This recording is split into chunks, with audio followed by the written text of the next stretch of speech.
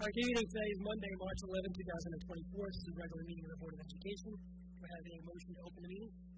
Cynthia, second. Laura, all in favor? All right, great. We're going to uh, jump out into executive session for uh, a, quick matter that we have to do with personnel-wise, and then we'll be back here at 7.30 for the regular meeting. Do I have a motion for executive session? Laura? Second, Cynthia, all in favor? Okay, we're back in 30 minutes.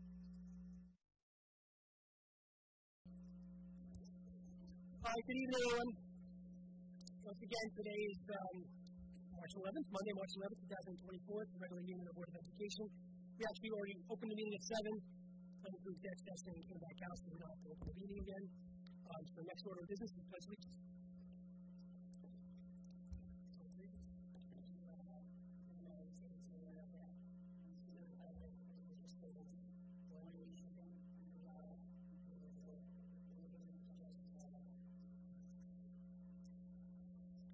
We got some really cool stuff going on here tonight. As well, we have attendance. We haven't so this is good. So, unfortunately, we have about an hour and a half budget presentation to do first before we get into the, uh, the play and the cheer. It's a little, little joke. That's my idea here, man. I'm sorry. Yeah, no, we're gonna get right. We're gonna get right into the good stuff, so everybody can leave before we get into the boring stuff, which is which is budget. Um, so I'll turn it over to the superintendent. I think we're gonna get a great performance from from the Annie production here. Over to you. Good.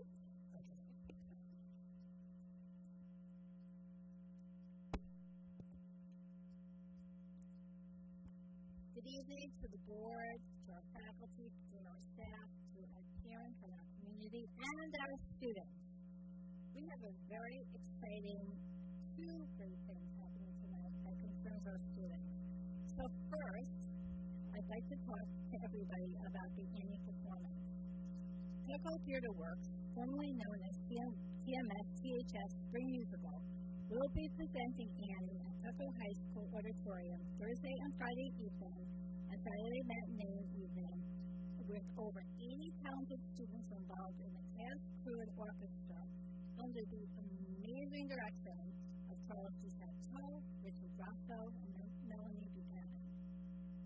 We are delighted to leading members of the company here with us this evening to give you a sneak preview of the show. The students here tonight are in the middle of their dress rehearsals downstairs, and we are delighted to have them with us tonight. Please welcome Ryan Rodriguez, Henry Podell, Renee Amina, Julia Fred, and our very own Emily Swenson. Take it away, cast.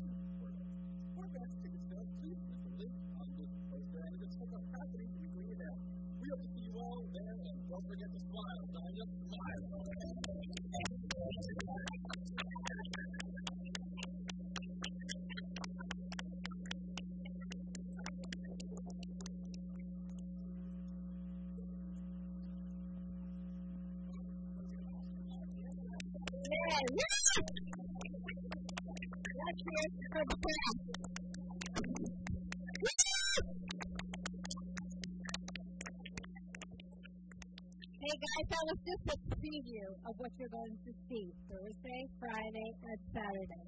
Tickets are already on sale. Go to Tuckville Facebook, it's already up there, and they're selling quickly. And everybody's going to be there. So there's a little code. Just put your camera on that and buy your tickets now. Expect cameras, I mean, I'm sorry, wants to come out right now. It's on Tuckville Facebook. You guys can do it. Great job. Amazing. Thank you to. Thank you for this for the. Thank you. Thank you, thank you, thank you. Mr. Bronson, thank you. Mr. Cannon. Yes.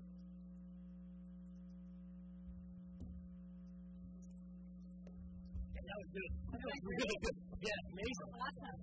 Very impressive. Very Very, very talented Now, of Really course, we're not done yet because we have so many talented students in every realm. And tonight, I am really thrilled to celebrate the extraordinary achievement. It is really with great pride and joy that I stand before you tonight to congratulate our incredible cheerleading team on their remarkable victory at the New York State Championship. They are New York State champions. Let's hear it for them.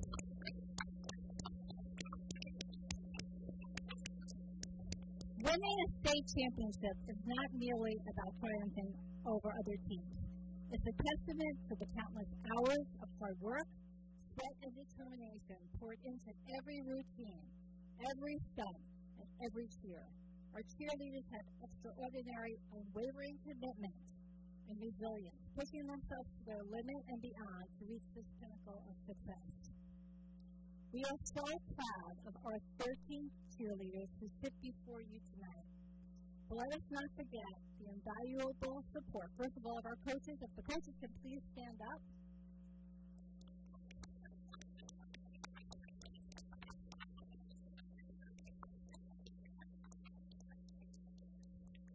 And their families.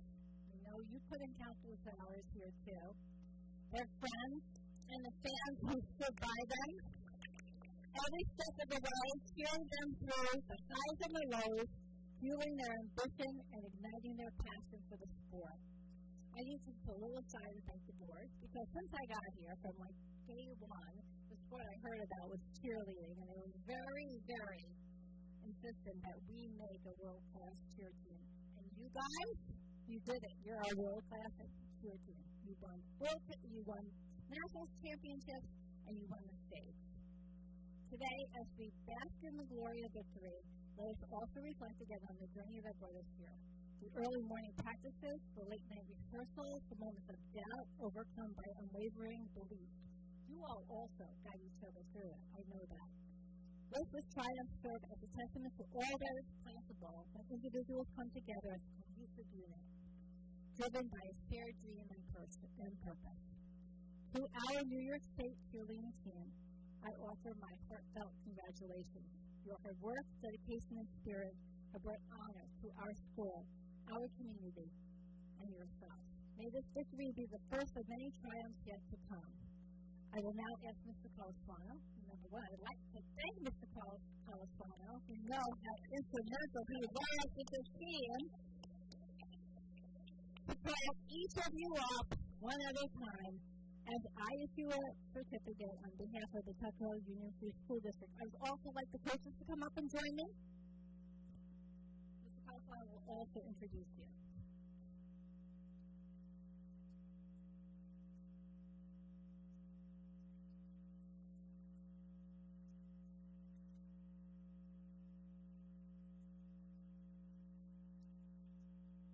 Good evening, everyone. I want to thank you. Um, thank you all for kind words about our CURE program. Um, it's been quite a journey this year. Um, beginning off, you know, when I first met these coaches on, on our interview, we really didn't know if we were going to have a full team this year. And we were able to pull off two teams um, with such a wide age range of girls that were here with us. Um, it really is a testament to the coaches being able to bring out the best of each and every one of our athletes. So I truly want to thank the four of you for doing what you did this year. Thank you.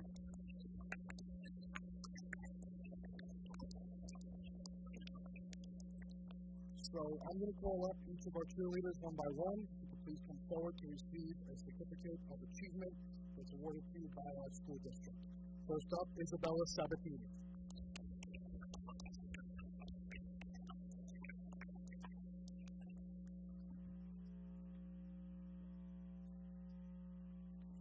Chloe Asarino.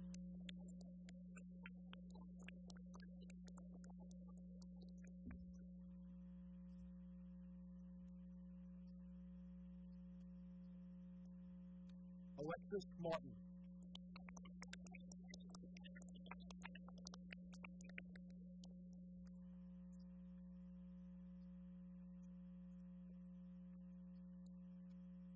Lily Farrell.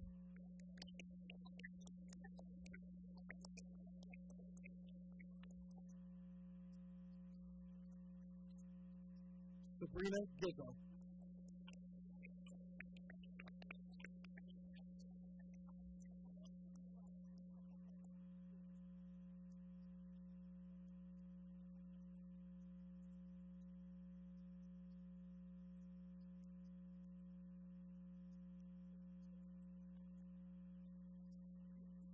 Gizzo. Fleet Rideout.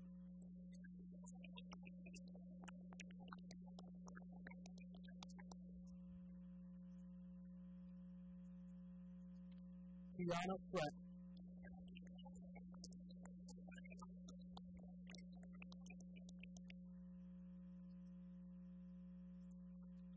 Julia Barrett.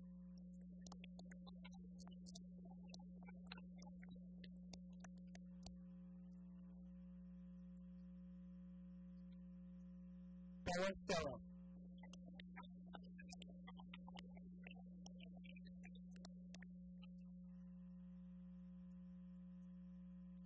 Renee Lattimore.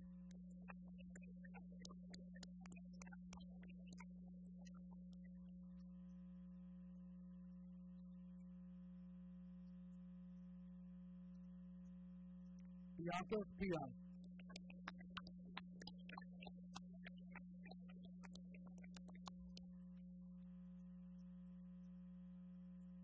Morgan Seminara.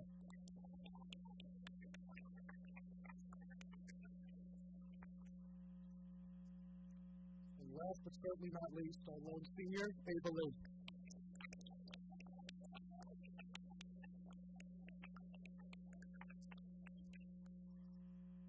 So now I'd like to also uh, present the certificate to our coaches. So I'm going to begin with our two JV coaches who again did such an extraordinary job this season. First, Caitlin Golubowski.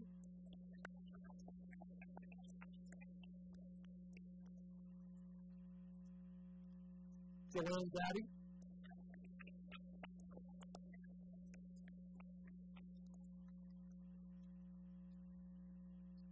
And now to our varsity coaches, Elisa Santabello.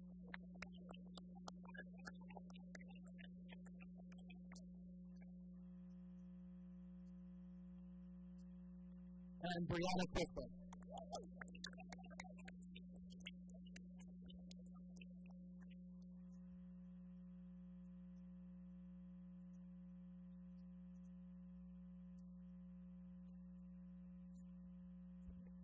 So, let's hear a big round of applause for the state champions at the Tuckahoe High School for the first time ever, our cheerleading team. Congratulations!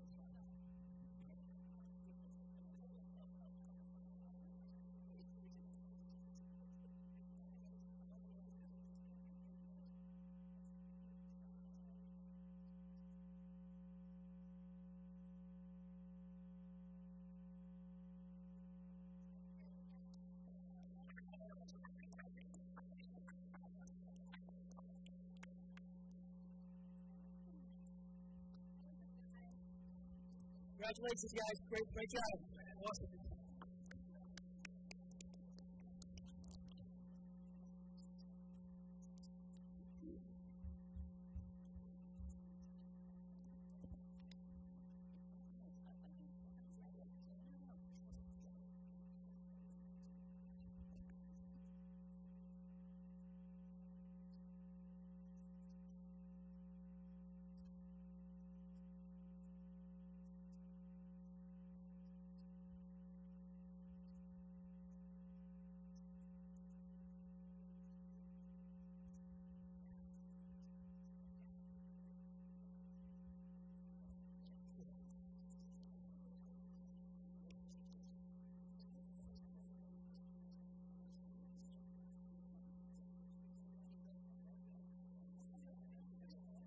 You're not running the Ava lead, right? She's got to speak too.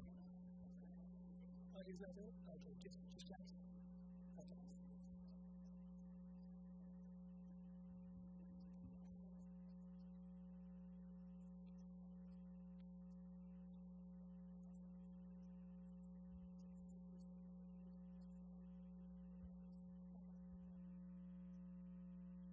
So, with all this excitement, we just have one student speaker, but we have a great student speaker, Jack Colachico. Colachico. I'll say that right. Jack is the current senior here at Tuckahoe High School. He is versatile, accomplished, and a bright young man who is very involved. He is very well liked by his peers. I see that all the time. And he is looked at as a leader. Jax is a tri-sport athlete playing varsity football, basketball, and baseball. He is captain of, captain of the football team and a leader by, nature. by nature. Jax won the Golden Dozen Award, which awards football players who are doing exceptionally well on the field and in the sport. This is really quite an honor, so let's hear that for Jax. On top of all of that, Jax is taking multiple AP courses this year all the while thriving in them and staying involved. He volunteers his time in our Habitat for Humanity Club and is a member of our National Honor Society and Investment Club. He also participated in the Bloomberg Market course. Although Jax told me that he will miss Tuckahoe's sense of community and friendly environment, he is looking forward to his post-secondary journey. He plans on studying business or finance, and he's going to do exceptionally well, whichever he chooses, has been accepted into many colleges. Right now he's choosing between the University of Florida and Indiana University, both great schools. He will be revisiting both universities in order to make this decision, but we know whatever decision you make, that you are Shiner's for. Jax?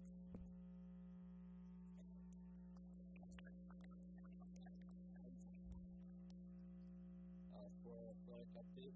Uh, varsity and JV spring sports begin today. At the varsity level, we are started off varsity baseball, softball, golf, track and field, pioneer, and our new boys tennis major. At the JV level, we are offering baseball, girls lacrosse, and boys lacrosse. Our varsity girls basketball won the New York State Regional Championship this past Thursday for the first time in school history. The team defeated Noble High School in overtime by score of 65 to 63. The girls now advance to New York State Final Four on Thursday and will compete at 7:45 p.m. at Hudson Valley College in Troy, New Registration for modified spring sports remains open. The registration will close on Thursday, March 28th. The Westchester chapter of the National Football Foundation and Hall of Fame announces 51st annual Golden Dozen Award winners for the 2023 football season. These individuals excelled in the classroom and on the field. Congratulations to myself and Connor Benke for being recognized and for this exceptional accomplishment. The Peppa Athletic Hall of Hall of Fame nomination application is available on the athletic department webpage and the district website. This update. 11th grade students are being offered the opportunity to visit Bennington University on March 18th. On Monday, March 18th, the school campus will bring a select group of students to visit the Health and Science program at own university's Brownsville campus. The ever so popular of Tuckahoe, hosted by the PTA, was held on March 6th. Middle and high school were treated to delicious meals donated by various businesses throughout the community. On Sunday afternoon, our marching band and state champion cheerleaders and regional champion girls basketball team participated in Eastchester's 18th annual St. Patrick's Day parade. The spring musical Phyllis Reese production is young. The spring musical performance will be held from March 14th to the 16th. Please don't wait to get your ticket. The Pepper Middle School Science Olympiad team brought home ninth place overall and a trophy from the Science Olympiad competition held last weekend. The team had some impressive medal placers. Anatomy and Physiology, Lily Fleming and Abigail Rana. King Georgia Power, Powder, Mimi Oliva and Ella Larkin. Forestry, Ella Larkin and Robert Martin Ruckman. Reach the Stars, Stella Sheldon and Elizabeth Trello. Write It Do Mimi Oliva and Alexa Wade. Micro Mission, Abigail Rana and Robert Ruckman. The Pepper Jazz Quartet, a Cloud Ensemble from Pepper High School, delivered a captivating performance at the Westchester chapter of the 100 Hispanic Women event at Pepper Grove Hall. Thank you. Thank you, James. Thank you very much. Yeah, good luck. All right. So after all that fun stuff, now we get to talk about the budget. Sorry, Dave. which is not as is not as cool as it. I want to see what hard I want to see what hardcore folks are stickering for the budget. And that that that that will be that.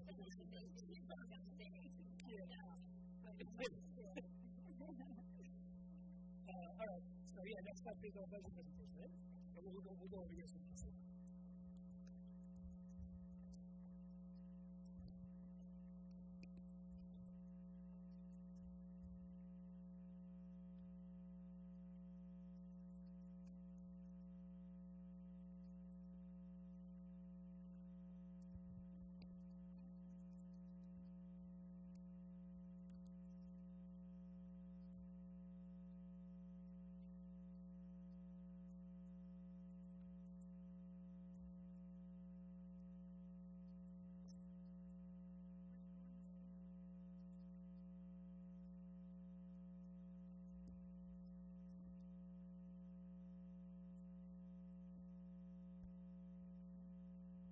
Good evening, esteemed board members, faculty, families, and members of our community.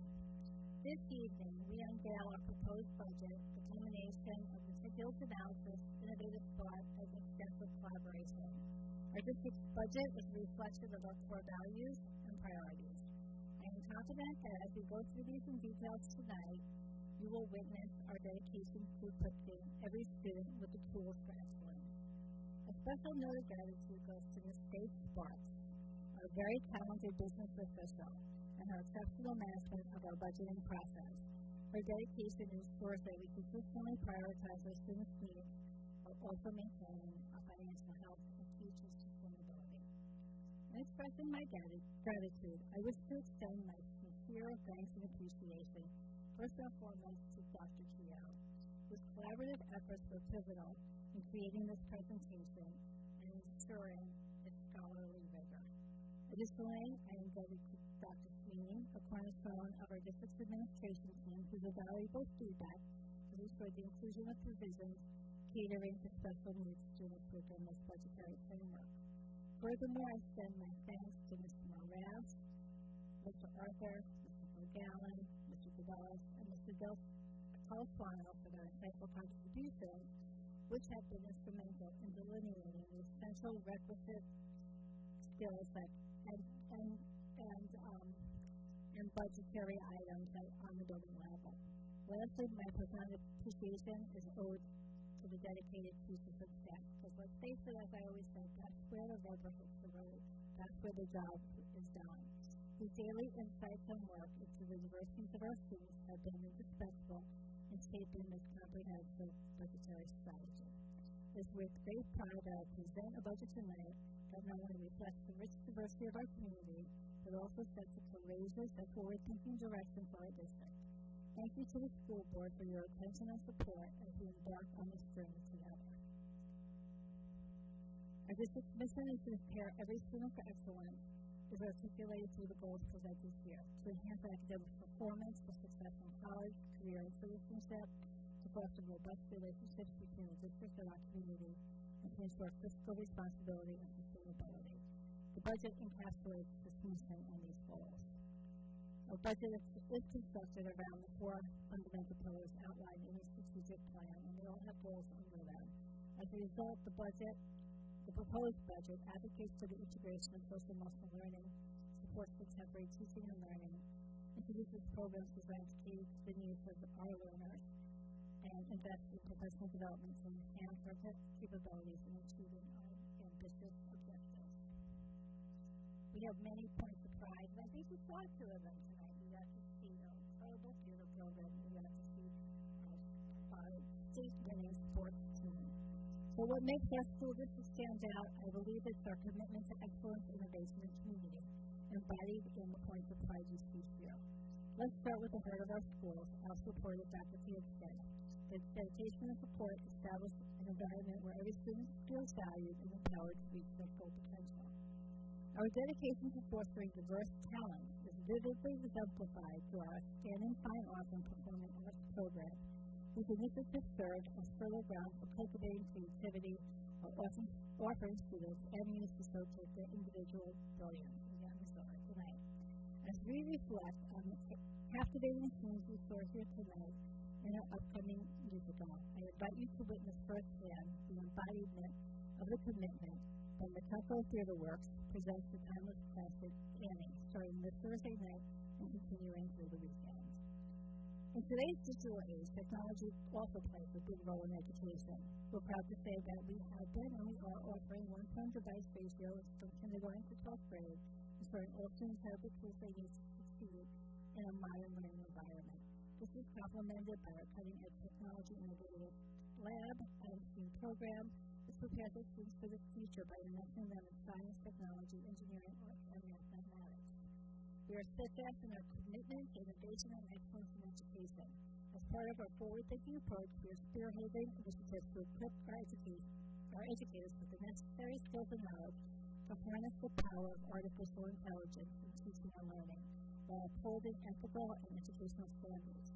Through comprehensive training programs, we are empowering teachers to leverage AI tools and resources effectively, enhancing personalized learning experiences for our students. Furthermore, we prioritize ethical considerations, ensuring that AI integration aligns with our educational values and fosters a safe and inclusive learning environment.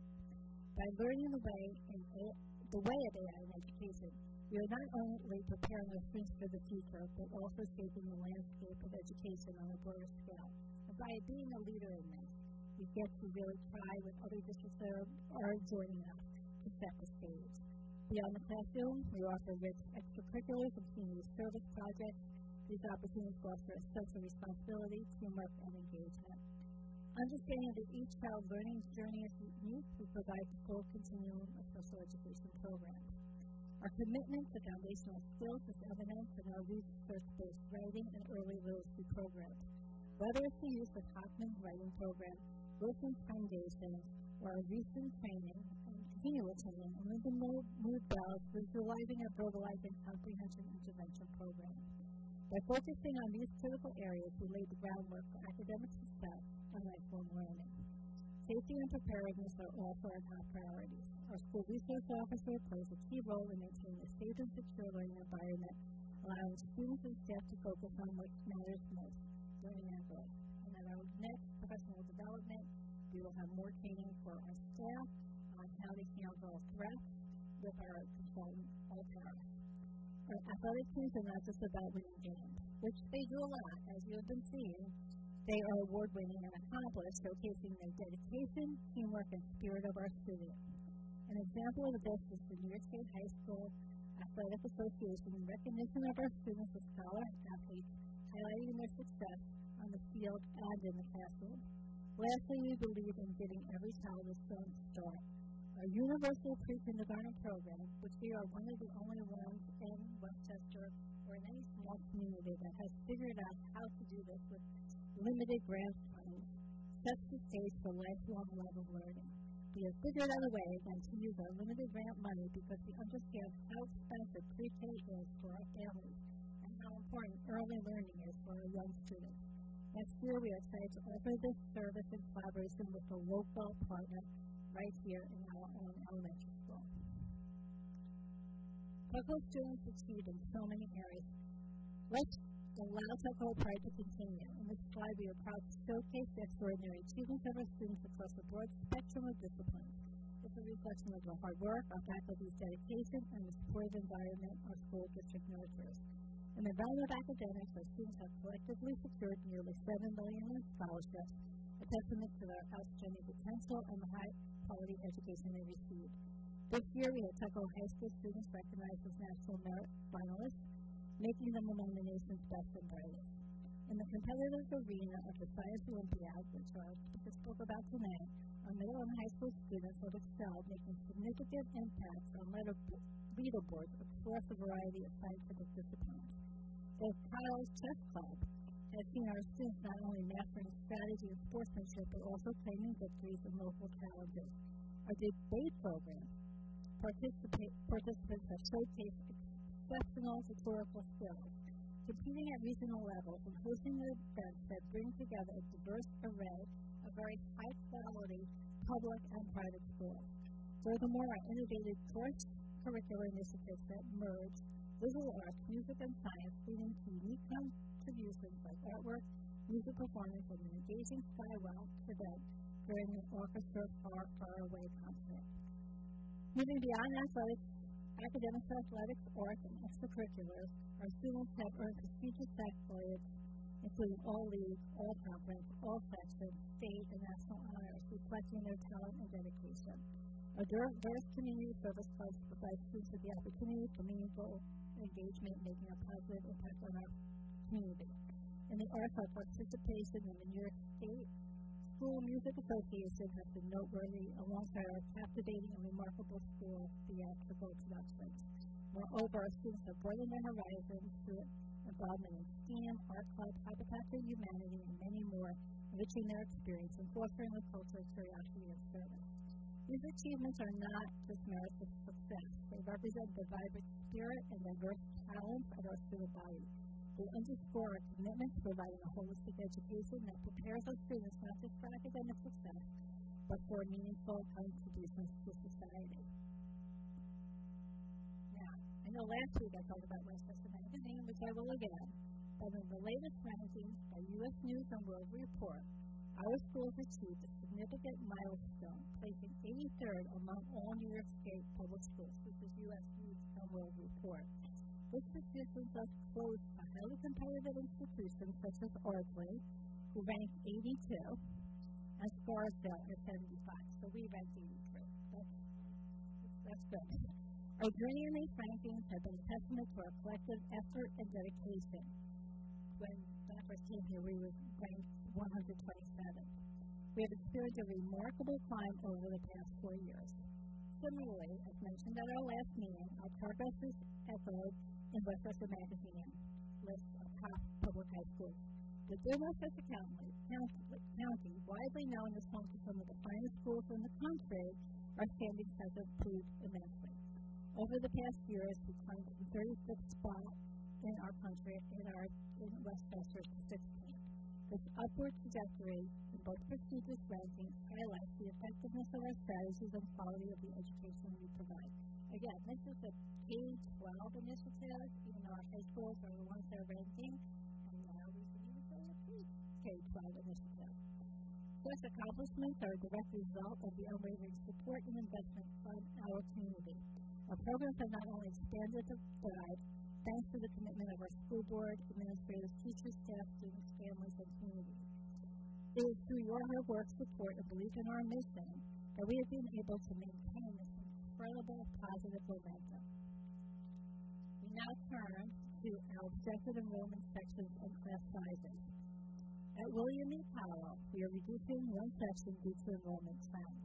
This trend of decreasing enrollment is consistent with what has been observed both regionally and nationwide. Even with the reduction of a section, you will see that we are able to maintain very small class sizes that our board and district prioritize. Average class size is also maintained in the middle school and in the high school. And now we turn to some budget changes we are proposing. Reflecting on Dr. Keogh's and Mr. Arthur's outstanding presentation at our last board workshop, We will now discuss again the proposed changes to staffing for the middle school high school for the board to consider. These are not included in the rollover budget and would add to the 24-25 school budget and appropriated fund balance. We are proposing adding additional staffing for AP courses and high school electives. Mr. Arthur and Dr. Keo spoke to these previously, and here we present the budgetary impact. You'll see in the second column that many of the additions that were previously presented are mitigated by reductions of course restructuring. We are also proposing adding an academic interventionist to the middle school, a similar model like we have at Cottle. And we've heard that a lot from different um, parents and also from the board. Additionally, we are proposing new middle school electives in general music and podcasting and a new algebra lab to help our freshman students with IEPs complete algebra in a single year. Overall, we propose an FTE increase of 0.7. The new course catalog presented at the board workshop exemplifies our district's mission of preparing all students for excellence. And that was just our last workshop, so maybe you recall this.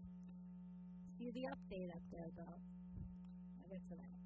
In the recent Board of Education meeting, which was our last one, we outlined a series of course modifications designed to elevate our academic offerings in line with our high standards for student achievement. These changes are the culmination of a thorough analysis of our existing courses informed by collaborative discussions with students, family, and faculty stakeholders. A review extended beyond our immediate community. We examined the course offerings of six public high schools, some of which are our closest neighbors, as well as those of private institutions. The comprehensive analysis reinforced the crucial understanding competitive, competitive schools, and meaning colleges especially, place a significant emphasis on advanced placement courses. What we know is selected colleges and universities and high-ranking school districts, especially when evaluating applicants for admission, pay close attention to a school's profile, including the range of AP courses available. In the competitive landscape of college admission, participation in AP courses is highly valued. The decision reflects the broader trend for valuing the depth and rigor of AP courses, aligning our offerings with those of institutions that are recognized for their excellence. However, after speaking with students and families, we made the decision to extend this transition period and offer in ELA 11 and 12 honors offerings as, as we've heard from so many families. Our school counselors have communicated this update to all families via email and as I was walking into school this morning, I saw a parent who thanked me and said they already had their meeting and already changed the schedule. We continue to review and reflect on our program of studies with an eye toward continuous improvement and academic rigor while we continue to listen to our families about what their students need. When considering the proposed changes across the district, including those previously discussed for the middle school high school, we're looking at a very modest increase of 0.2 FTE positions. This adjustment is possible due to strategic reductions in programs such as the BOCES Artists in Residence, which, turn, which in turn allows us to add a 0.8 FTE office for teacher, not doing it for BOCES, at Cottle, and an extra 0.2 for general music at the middle and high school. Meanwhile, the reduction of one classroom teacher Cottle enables us to enhance our middle school team with the addition of an interventionist. Altogether, thanks to careful analysis and district-wide collaboration, we are able to proceed with a modest FTE increase. As we continue to evolve and innovate within our educational framework, we're excited to introduce significant enhancements to our professional learning initiatives. These changes are not just investments in our staff, but are pivotal in enriching our students' learning experience. First, we are continuing with that Learn Active Technology Infused Classroom training, complemented by a newly designed Summer Institute. This initiative aims to deepen our teaching strategies and actually anticipate a reduction in these costs due to restructuring. This investment ensures our teachers, those who are part of the cohort and those who are not, have ongoing access to on-site coaches. These past few PD days, our consultant has led all middle school and high school teachers in training on engagement and discussion strategies. This effort supports both individual cohort members and extends to building-wide trainings, enhancing our collective instructional practices. Next, we're focusing on enrichment and high-level engagement support at Cottle, investing 12000 in full staff training and administration and administrative consultation. This program is designed to elevate our approach to supporting and challenging our accelerated learners, ensuring every child is, is engaged at the highest level possible. Mr. Moraes, Dr. Pio, and I met with a group of parents from Cottle who articulated concerns about the type of rigor and challenging materials that advanced learners were experiencing. So with that, we have brought in some extra programming. Middle high schools, we're allocating 2000 to provide Tier 1 intervention and support, apart from the interventionists.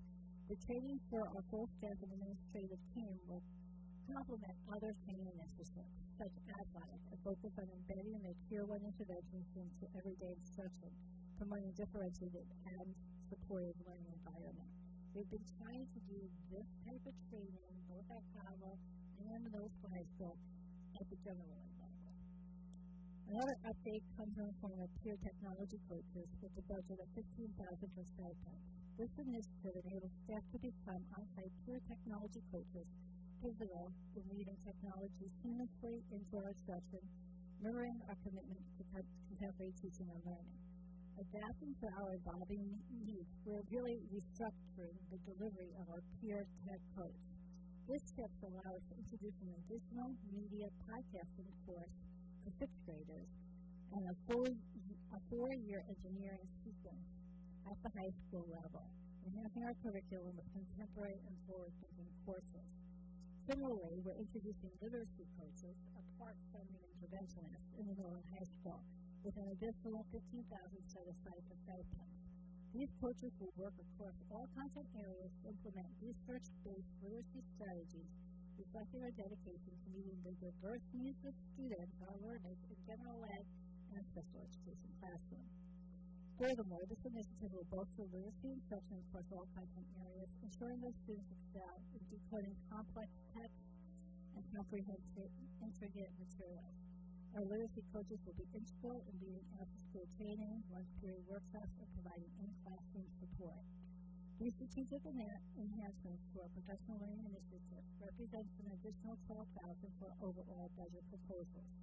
As we anticipate leveraging Title II-A grant money to help defray the cost, to have to thank Ms. Sparks, who is particularly adept at this, demonstrating our commitment to fiscal responsibility while prioritizing the continuous professional development of our staff. As noted in the slide above, the stipends for our instructional coaches will be funded mostly through grant allocation.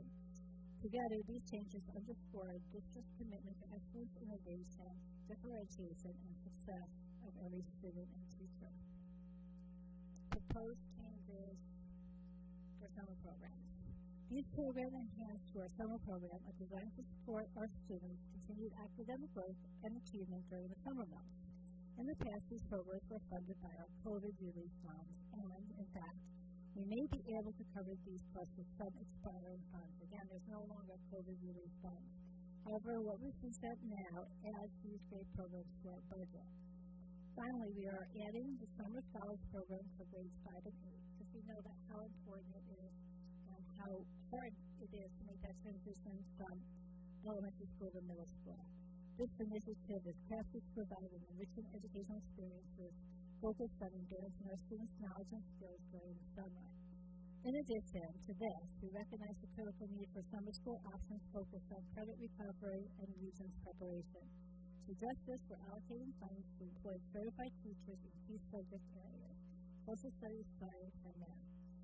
This targeted approach would budget 7000 and that students who need to recover credits or prepare for Regents exam receive the specialized instruction they require. You know, not every student, some, some students really struggle with this, and not every student, even coming after school, is not enough, and not every parent can afford a tutor, so we want to have special tutors for kids who really struggling in those subjects.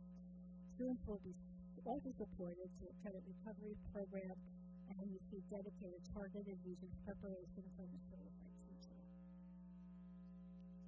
Proposed changes for student support. We are implementing strategic changes to maintain uninterrupted support for our students' educational development, development adapting our students' changing needs, and the conclusion of the COVID era grant. First, we acknowledge the importance of targeted academic support, especially for students, again, at the secondary level. Research has, has consistently shown that dedicated tutoring is one of the most effective methods to help students. We remain committed to this personalized instruction again. To this end, we are establishing tutoring pool around 14,600 on an as-needed basis. This initiative will allow us to employ tutors tailored to specific needs of students, ensuring flexible and effective support to help them succeed academically. So that's not just for users, this is just for our students who need extra support. Additionally, our collaborative with the Eastchester Community Alliance Program, ECAP, has been a cornerstone of our effort to support students in upper elementary and lower middle school grades. This partnership has significantly contributed to bridging, the educational experience between our school and the ECAP after-school program. Previously funded by COVID relief funds, this program enabled us to teachers to assist students with homework for three hours weekly. As we transition beyond the COVID funds, we're integrating this valuable initiative into our regular budget. However, thanks to ensure sustainability focus, the program will be capped at two hours per week with one teacher at a cost of 5000 credits. This Prado ECAP partnership reflects our commitment to maintaining this crucial link in a more streamlined format. The proposed changes in curriculum. As we navigate through our budget enhancements for the upcoming academic year in the area of curriculum and instruction, it is essential to understand the strategic investments we're making to enrich our programming. Each edition has been carefully considered to support our students' learning journey and our education teaching strategies. We thank Dr. Kia, the building administration, and our dedicated teachers and staff for their analysis and input into recommended changes presented here. First, we are extending our commitment to mathematics excellence with a one-year extension of the, of the Envision's Math Visual um, license for seventh grade. This $3,500 investment aligns the renewal cycle for K-8. This comprehensive approach to teaching math three of three act structure, aligned from our youngest ages to our pre-algebra post-study, has been very successful. Social studies, we're enriching our curriculum with Savvas text extensions across multiple grades. For grade 6, a three-year extension of the middle age text is planned with a budget of 7150 to deepen our students' understanding of this historical period. Similarly, for grade 7 and 8, we're investing 13600 in a three-year extension of American history text, further enhancing our exploration of the nation's past. Both texts have been successful in studies classes, particularly for their reliance on primary texts and differentiated resources. Turning to language arts for Alex in 5950 for a set of AP language and composition textbooks, ideas and argument. The resource is important for our AP language students, equipping them with the critical thinking and writing skills essential for this college level course. For our elementary students, the DIBELS platform represents 13,800 investment into early literacy. And what's exciting about this is this assessment has a dyslexia screening support our youngest learners so that we can catch students who are dyslexic or seemingly dyslexic at the youngest level. Vocabulary development is another key area, with 12,600 dedicated to Worldly Wise vocabulary books digital access to grades 3 to 12, ensuring our students have the tools to build a robust vocabulary. Similar to math, this again is program that promotes cohesion district-wide. Introducing Use ELA at the high school level with a budget of 2800 brings an informational text platform for our older students enhancing their engagement with current events and nonfiction texts. Lastly, NoRedInk at the middle school with an investment of 6000 introduces a standard Alliance writing platform to writing skills through personalized learning. Continuing on, we are looking to introduce a new touch typing program for students in grades 3 to 5, a critical skill in today's digital world. As our assessments shift more and more to computer-based modalities, we want to ensure students are developing automaticity with their typing. We also know that they are spending a lot of time on computers. Ultimately, this initiative is budget neutral, reflecting our, commit, our commitment to judiciously use resources while improving our curriculum. We currently use Typing Pal, but we are interested in finding a program that more effectively tracks students' progress and contains more engaging lessons, lessons embedded in the student-facing platform. In our advanced placement offerings, we allocate funds to textbooks in environmental science and world history, modern, each at 8,000. Resources will provide our students with up-to-date knowledge and perspective aligning with college-level standards. Our AP Chemistry and Honors Chemistry course will benefit from more rigorous textbooks with the Bible investment of 2015, ensuring our science curriculum remains at the forefront of academic excellence. We also excited to introduce several new courses each designed to meet the evolving interests and needs of our students. This includes anatomy and physiology, sports medicine, astronomy, climate issues, and general music class for 6th and 7th graders. These courses, with initial investments ranging from 205 to 8,736 for materials and supplies, plus recurring annual costs, reflect our dedication to offering a diverse and comprehensive education that prepares our students for future challenges and careers. The general music program will be supported with $2,000 for audiovisual recording equipment, and enabling students to explore music in a more dynamic and interactive environment. Each of these budget additions have been carefully considered to ensure they contribute meaningfully to our educational goals. By investing in these areas, we are not only enhancing our curriculum, but also demonstrating commitment to fostering a rich, diverse, and forward-thinking learning environment for our students. Now, on to Several middle and high schools proud to boast such a traditional of having rich academic programs and rich athletic programs that regularly sees this team competing for league, section, regional, and even state titles, as we said tonight. And maybe we'll see pretty soon with our girls basketball team.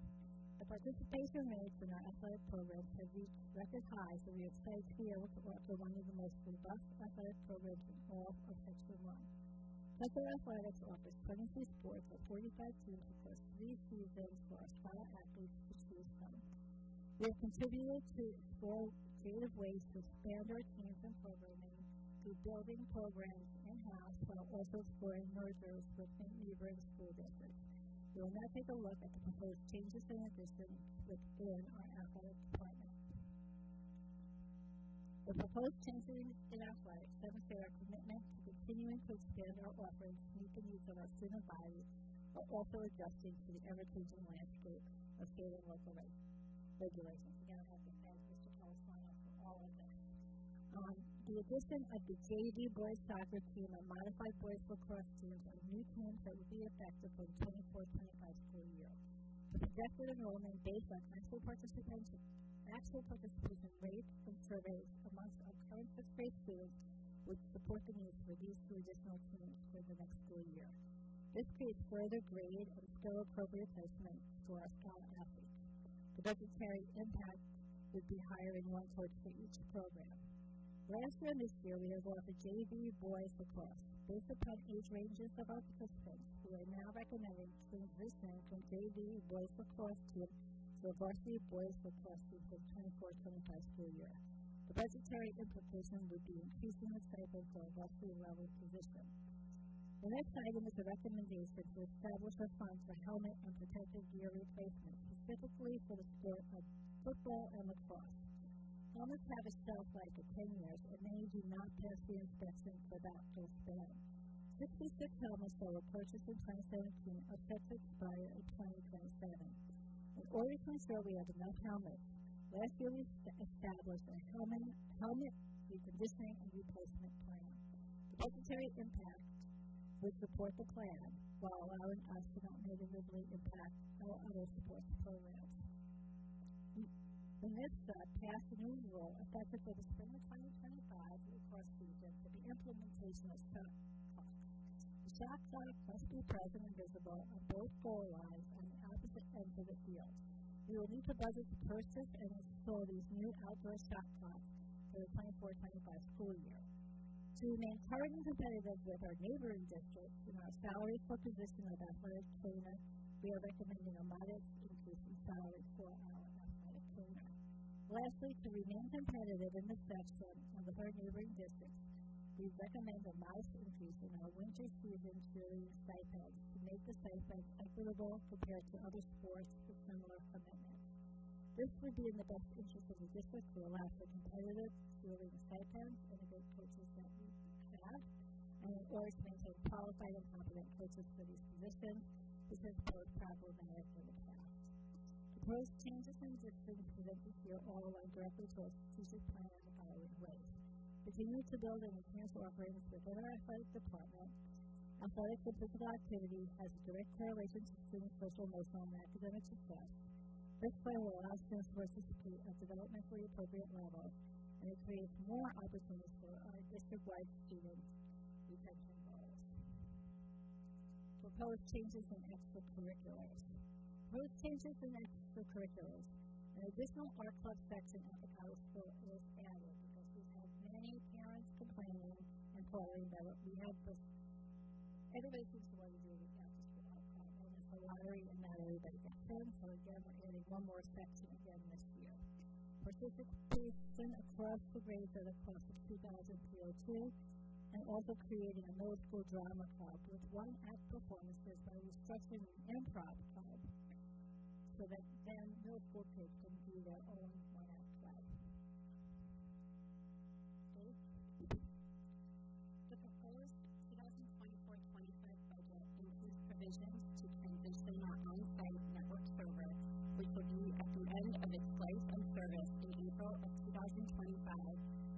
our server hosted at the Southern Westchester BOCES Lower Hudson Regional Information Center.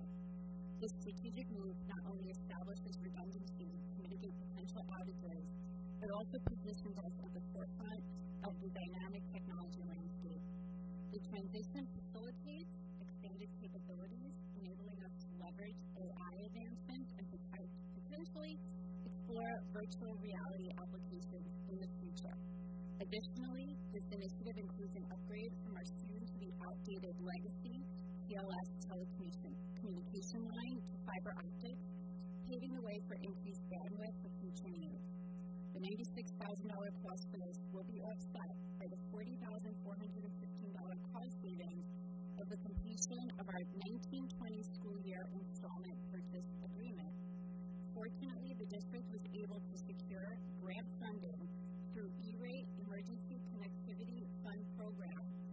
amounting to $174,000, which was used to acquire 500 touchscreen Chromebooks. This funding also removes the necessity for our district to do an IPA, a new installment purchase agreement for, Chrome, for Chromebooks, in the upcoming years. As you'll see in the footnotes, the years subsequent to the 24-25 school year, this $96,000 cost will be offset by both E-rate funding and bringing the net annual cost down to approximately $40,000 per year. With these aids, BOCES and E-rate, the aid is paid in the year after the spent, so the biggest impact is felt in the year of implementation. For 2024-25, we are also proposing to enhance, enhance our on-site technical support by adding a part-time junior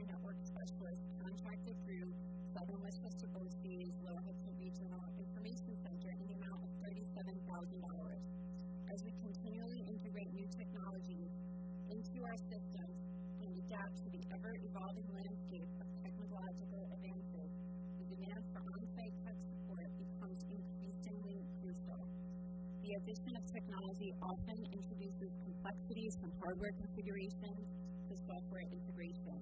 With each technological upgrade or introduction of new devices, the requirements for maintenance, updates, and user support grows. By adding additional part-time on-site support in this junior network specialist through BOCES, to not only meet our current needs, but also position ourselves to adapt seamlessly, seamlessly to future technological developments, ensuring a resilient and well-supported technology environment. The net budget increase for technology is 92,585. The 2024-25 budget preserves the existing allocation of $45,000 for transfers to the Special Aid Fund aimed at supporting mandated special education and ex- extended school year programs in accordance with individual IEPs. Additionally, the budget continues to allocate $50,000 for transfers to the capital fund intended for capital improvements not classified as major capital projects. The intention behind these funds is to facilitate the replacement of significantly deteriorated flooring in identified classrooms Additionally, these funds may also be used to um, for substantial pipe and HVAC system repairs as they come up.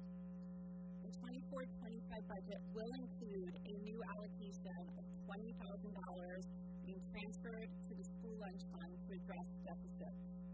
The transfer is legally required as revenues from the school lunch fund cannot be utilized to offset deficit accounts. To sum up, we just presented amount to $309,485 in total. The initiatives and modifications we've just covered represent only a portion of the changes for the 2024-25 proposed budget. It's important to note that changes and fluctuations to the budget happen annually regardless of whether new initiatives are introduced. Now we will explore the details of the expenses and revenues making up the proposed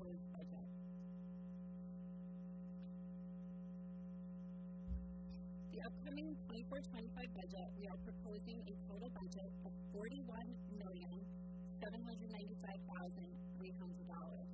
This is a 4.19% increase, which is equivalent to $1,682,340. The proposed tax levy is $31,882,132, which represents a levy increase of 2.06%, amounting to $644,960 increase. Importantly to note, this increase stays within the legal tax cap limit as determined by the New York State Comptroller's formula and demonstrates our commitment to fiscal responsibility and compliance with regulatory guidelines. When crafting our school budget, we start by evaluating our requirements for the upcoming academic year to figure out our, the total funding necessary. The budget development process fall and continues through the early spring. Let's explore the components of the proposed expenditure budget for 24-25. I'd like to begin by discussing the expected budget variance that we as a school district face annually, even in the absence of new initiatives. It's important to understand these recurring changes to effectively plan for our future financial landscape. Salaries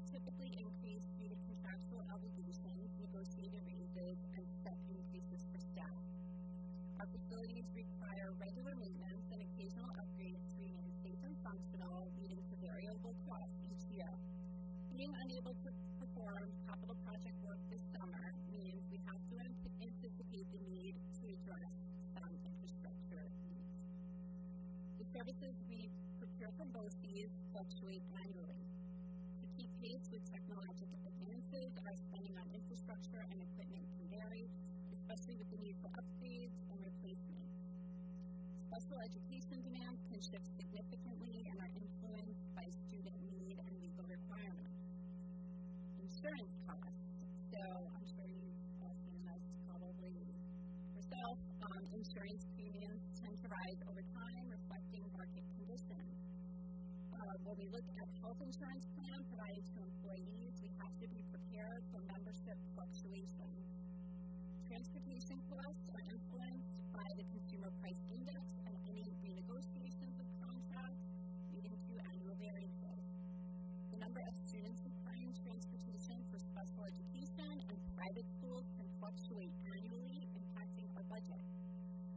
Benefit costs vary from year to year because of changes in things like health insurance premiums, health insurance plan membership fluctuations, retirement plan contribution rates, are set by the state, and other benefits. Our debt service payments are scheduled in advance and vary year, each year based on amortization rates. However, some years we, um, this up and coming school year, we do um, sell some short-term debt related to capital projects. These are all expected to fluctuate from year to year. Here you will see a summary of the proposed budget by function. The school budget function is a category that groups together expenses based on the purpose they serve, like teaching, transportation, central administration, library, and technology, helping to organize how our school plans to spend our money. The largest increase is seen in the category of technology, which we discussed before as we are moving to our server hosting, or we plan to move our server hosting over to BOCES, and an additional part-time um, on-site tech support through BOCES. Central services and insurance costs are increasing around 11%, mostly due to um, a very large increase in our general liability insurance, which is going up close to 30%. Um, and also some BOCES related costs are increasing for software, state data collection, and telecommunications. This current school year, we, we experienced, the current school year we're in now, we did experience significant increases in transportation costs based on bid specifications that we received last spring. Those um, specify the increases for the next five years, so we know we can anticipate a 5% And interfund transfers are set to rise for 24-25. They are incorporating the new $20,000 allocation transferred to the school lunch fund. Here you will see the, the proposed budget broken down by object. The school budget object is an even further breakdown of a specific item or service that our school spends money on within each function, such as material and supplies, salaries, or contractual services. As shown in the previous slide, when organized only by function, for example, you'll see transportation in the previous slide um, incorporates salaries related to transportation. However, in this chart, it exclusively represents contractual expenses related to transportation.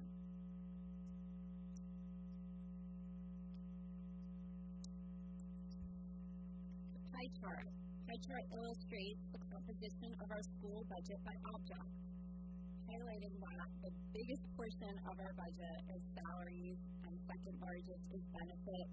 The two combined make up 72% of our spending.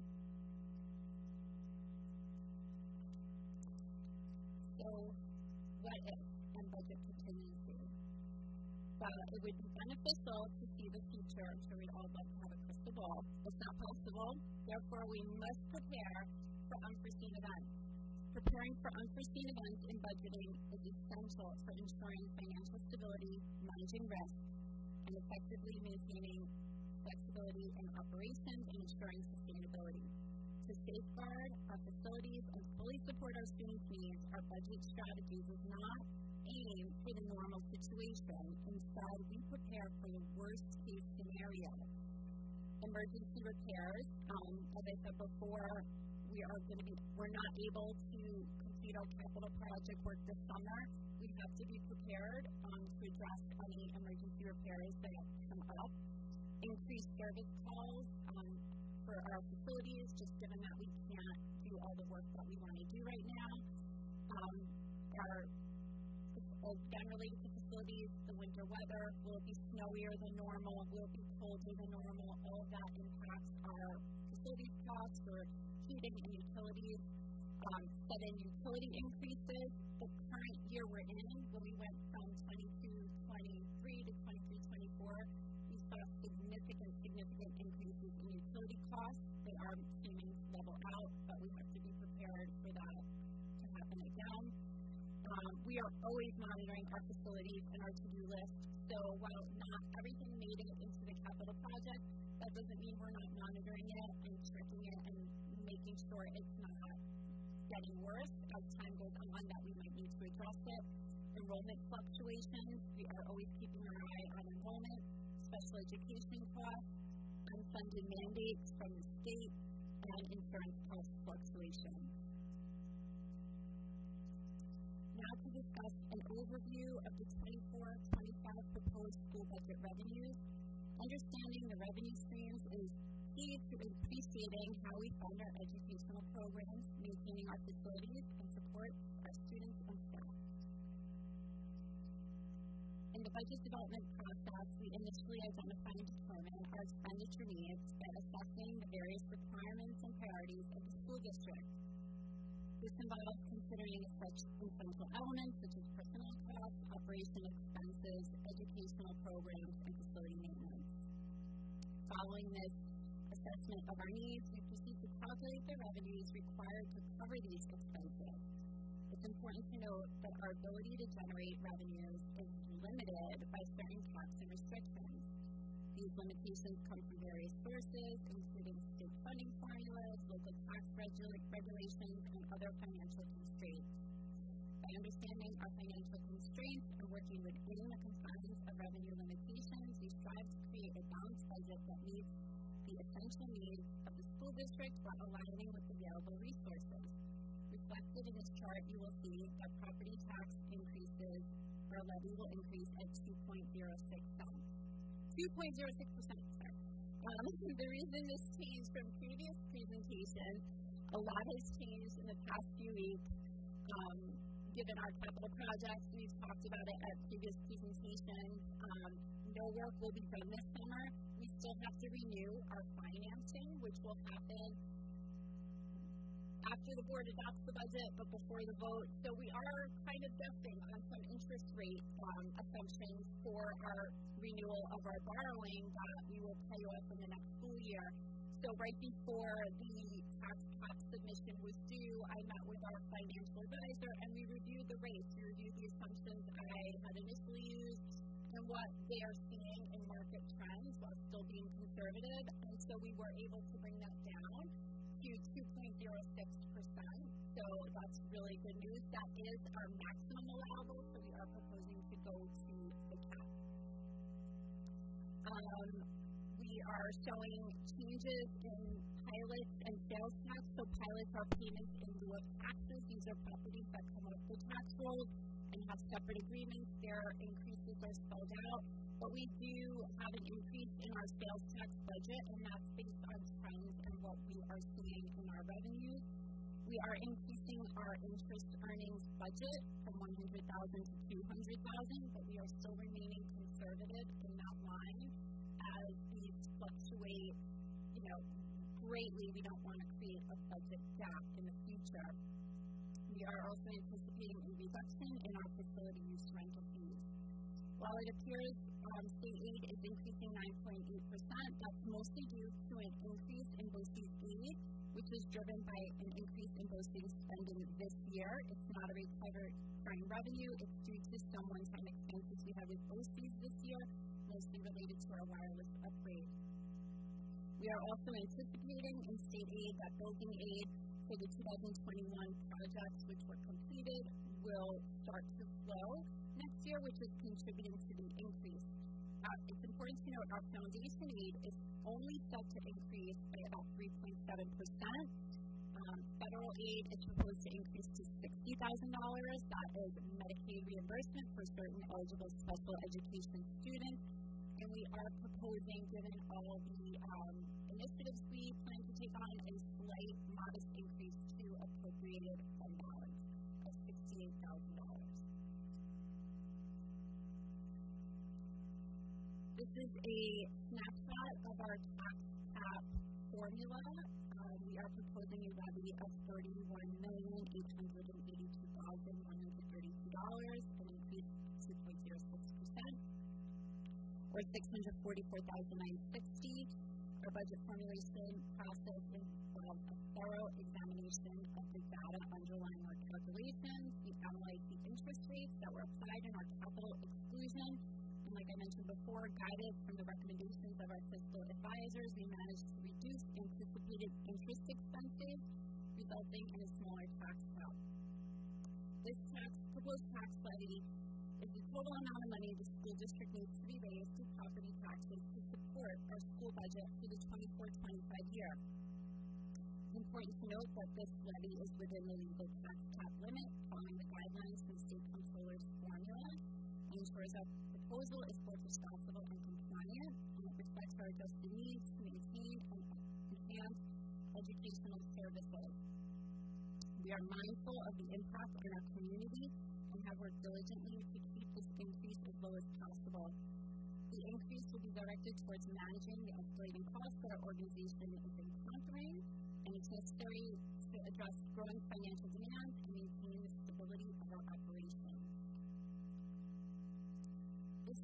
chart is a summary of our state aid. It's our second largest revenue source. Um, foundation aid being the largest part of state aid that we receive, um, the formula used to calculate foundation aid takes into account factors such as student need, regional cost differences, and local district wealth. As I've mentioned before, the governor is proposing to make drastic changes to the current formula. Um, this change uses a lower inflation rate and gets rid of the save harmless for districts, um, which has been around for decades. Tuckahoe would receive close to a 5.1% increase under the original formula um, rather than the 3.7% proposed increase. Um, we're hopeful that this will not happen and the governor's adopted budget, which is coming out on April 1st, will revert the formula back to its original status. But right now we have to wait and see. And we always take a conservative approach when we're estimating our revenues. So we are proposing what was in the governor's original proposal. This chart illustrates that a significant portion of our revenue, 76.3%, comes from real property taxes, and state aid is right behind at 13.3%. Both of these revenue sources are capped and regulated by the state. We have minimal flexibility with other revenue streams, and our capacity to generate new revenues is very constrained.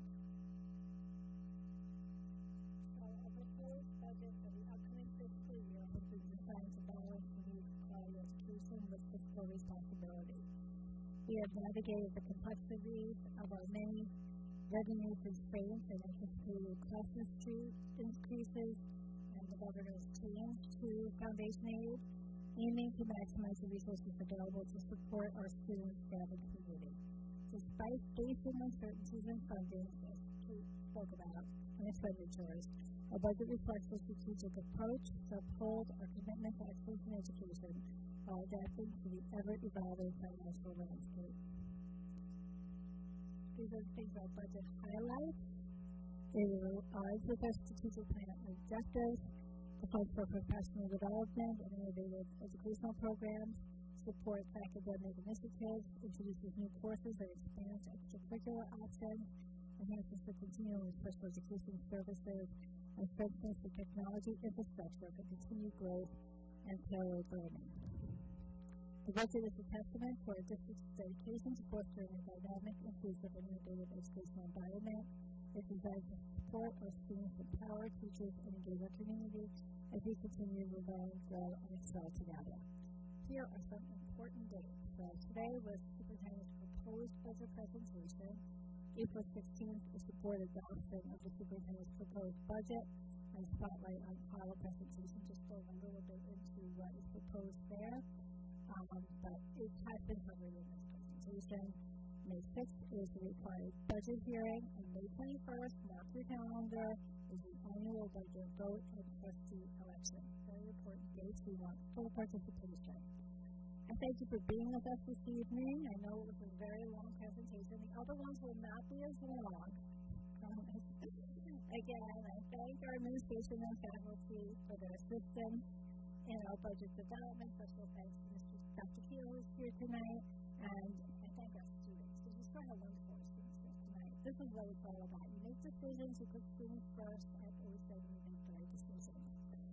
We welcome your questions or comments. Thank you so much.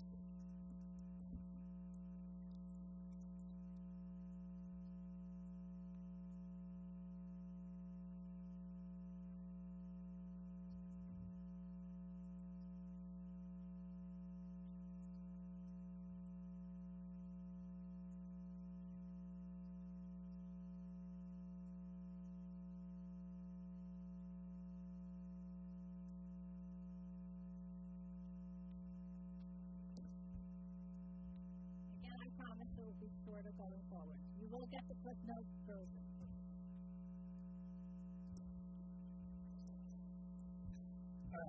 We joke a lot about the budget, but there's a lot of work that goes into that. So appreciate it. It belongs for the little bride, but super important. Obviously, what, what makes this place tick uh, the scenes. So thank you for the hard work. I know that's a lot of work. Um, a lot in there. So I certainly have a, a, a few comments and questions, but I'm happy to go last. Does anyone want to go first? go first? I'll go first. I for the other way. Okay. Curriculum or sports or extracurricular, we do have those. Um, so obviously lot, lots of good academic additions we got from the first week of each of the years with the um, different IPs and electives is really good. And we added back the honors. Yeah, excellent. And, and then that increase the staffing is really very good considering there was additional. So the professional learning part, um, it was budget there for some more teachers to get lab training next year. Is there a goal in mind about how many teachers? And I saw that there a number of I saw the budget number, but I don't know if that translates into in terms of Dr. Can answer that. Okay. Technology infused education. Lot of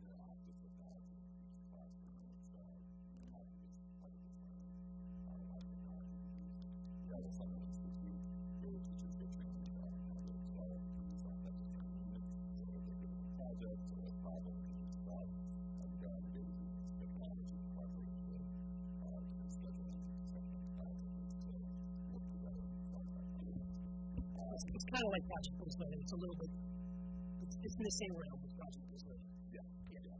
Uh, so we don't have finding teachers that we can into institutes that each year as we've gone. So one of the reasons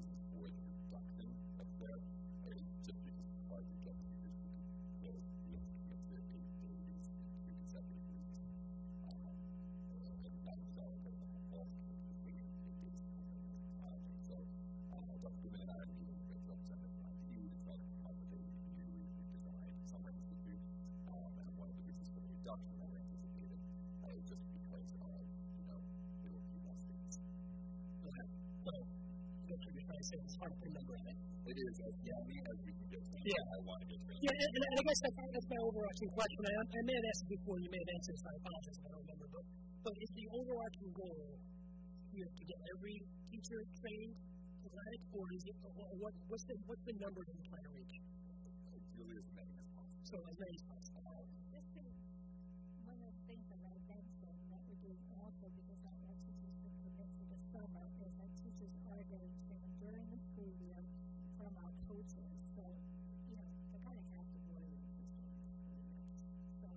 Also getting, you know, we can't force teachers to come to the training. Again, like Akio said, everybody covers the same route, the understanding plans and all that. So we're trying to change the program not only to um, maybe limit the number of days, but also to do more in-house during the, during the school day, where the coaches go into the classroom to work with the teachers. And what we've had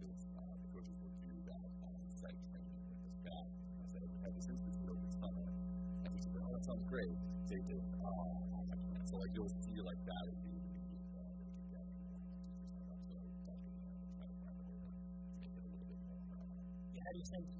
you? I think I think it's that if you, come in and you with your peers, um, and, they for their, time.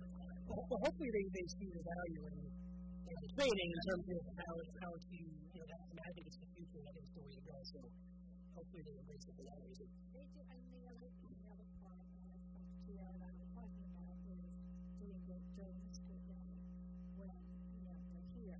You know, it's not the same as the intensity in the summer program, but as you have groups of teachers doing things, you know, other groups, you know, staff development changes. As teachers are using certain methods, you know, we have meetings with teacher teachers, they see what's happening, and then the coach will their teaching practices in that way. Is there, is, is there any thought to, not to kind of keep this something very important, and I'm not trying to do the overbearing, but maybe also um, make it sort of an onboarding requirement for new teachers coming into the district, and you, you know, a new hire, you have to start training, you have to go through before you start. Is that, is that unreasonable? I don't know if it's, uh, yeah. We took especially some, you know, teachers do have a summer institute. Uh, sorry, they have a whole portfolio of training that they do, so we kind of touch upon that in those in those things. But again, it's very different. What middle school and high school, you know, that's a mixed group, are doing that latter compared to elementary. So, And also, while the, you know, there are other teachers figured it into, uh, talk about training, like Dr. Goodman mentioned, so many of these workshops uh, so all exposed to the strategies, have had the opportunity to really be experienced with the develop those, um, the guided curriculum support and building out those units. Um, you know, but there, there are other ways of kind of getting to the office. It's similar to way you're thinking in terms of how do you get this into the hands of more and more teachers. I think that's part of what we're working on right now. Uh, and that's part of the reduction. Okay. Similar question for the literacy coaches and peer tech coaches. I didn't see like the, target number of how many, how much staff will, will get that, that coaching that that's hard so the way we've seen coaches work here is uh, workshops with everyone. So uh, I say the, the uh, coaches will interact and interface with every single teacher that we have. Uh, of knowledge that we're going to want all diagonal education teachers to have. Uh, and then in terms of instructional strategies,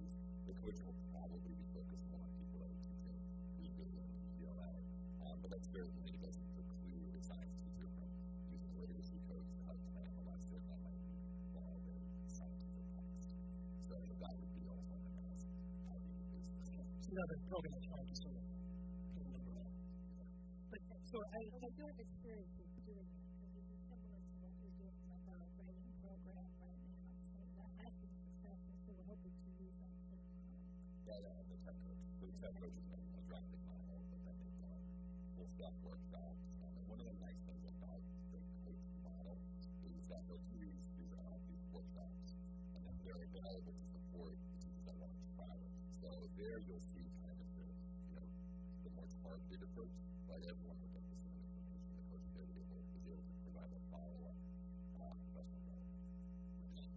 that that that um, addition there was I saw was grant funded. It looks like.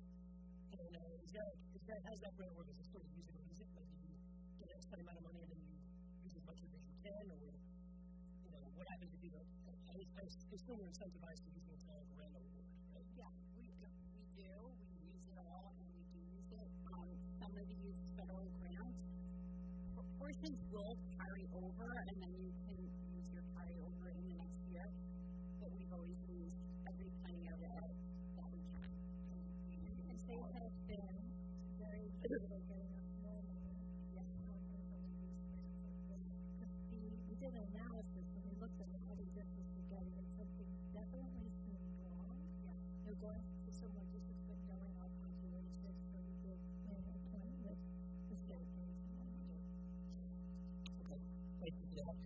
I, I don't know if I, I may have missed it. I'm sorry. This it's uh, hard to see a little bit and a lot of information, but I know we've talked about the possibility of adding an additional reading support, middle school, high school. Was that in there? I missed it. It was. Okay. Where where where, where was that? We're adding an interventionist.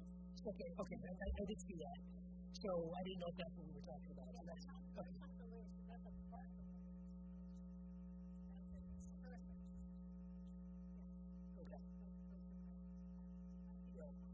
Yeah. Go ahead. Yeah. That was my next question for because I know I know we talked about adding interventionists for as well.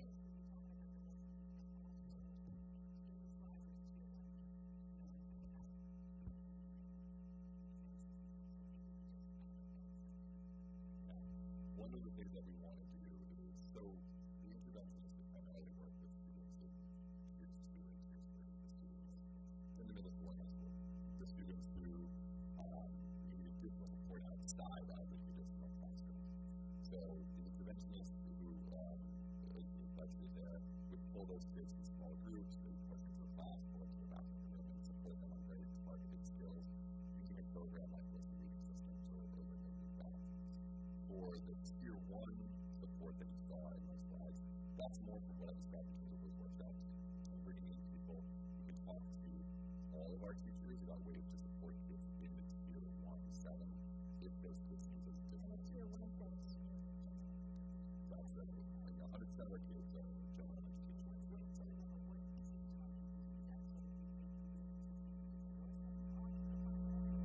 So in tier one, because it would be more, it would be a dedicated targeted program. It would be what type of instructional strategies support a student in that setting.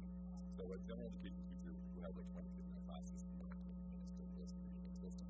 But to your point, it helps them be familiar with that, that, that model. So will be presentations on that toolkit so everyone's aware. But what we're thinking more about is, you know, the teacher is going to go up to teach a lesson. What are some instructional strategies that they can employ to help close that gap for kids be with reading systems? Well, I think right now, those are the systems, the teachers can learn, because a of these kids are in general education classes, so much instruction. That's just one thing. So the teachers don't know the way they differentiate things. But now, wh- what about you know, the classified students in school, high school? Um, do we feel like we have enough reading support, instruction, kids with dyslexia, things like that, that are getting that? that we, we have enough of that? Those interventionists will also They'll also do that? Okay, so they'll cross it. coaches, coaches will work more with the, in the tier one, the, um, the, the, uh, interventionists will work with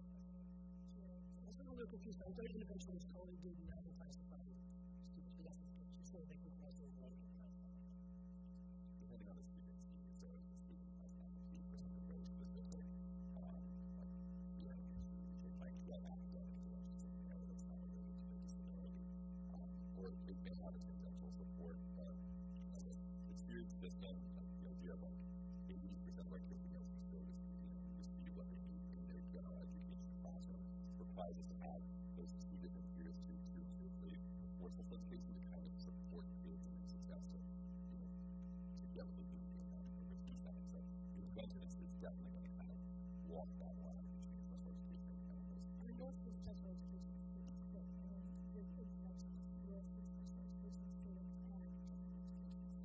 you feel confident these conditions gets us, gets us the gap that we feel like we have? Just have and we.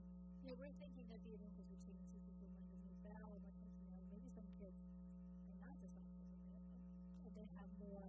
You know, at point, they have more than history in their reading, they may have comprehension and vocabulary issues that may look at that program and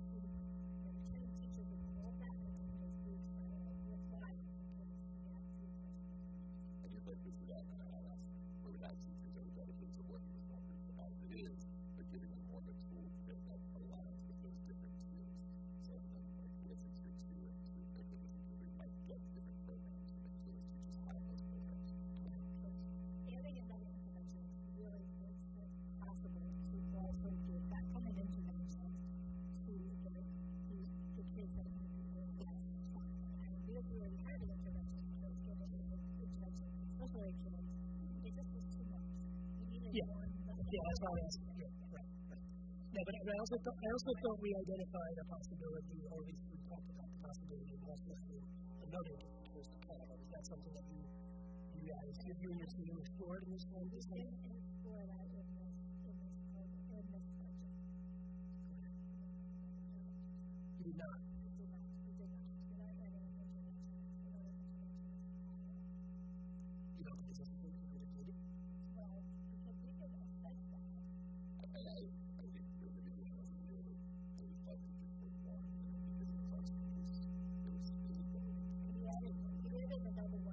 one.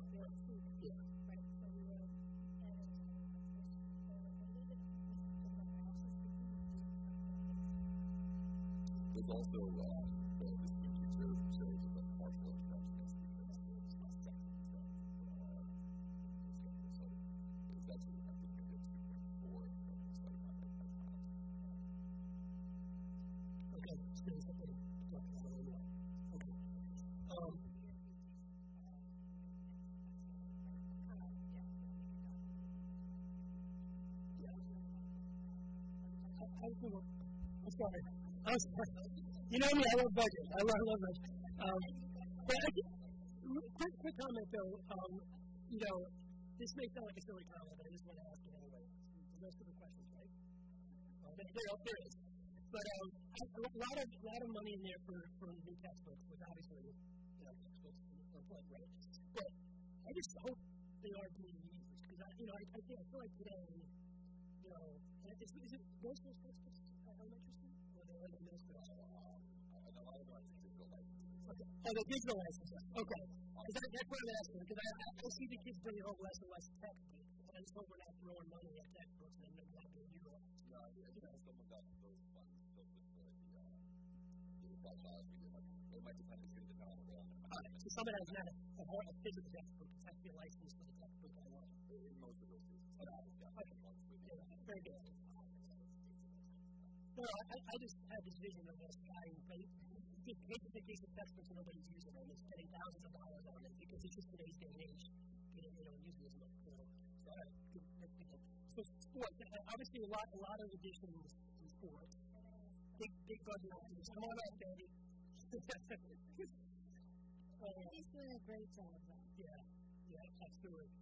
Um, but no, obviously, this is actually the biggest um, financial expansion I've seen since I've been on the board one year for, for athletics. It's a good thing. I mean, I mean, is that we're getting a lot of interest in a lot of sports.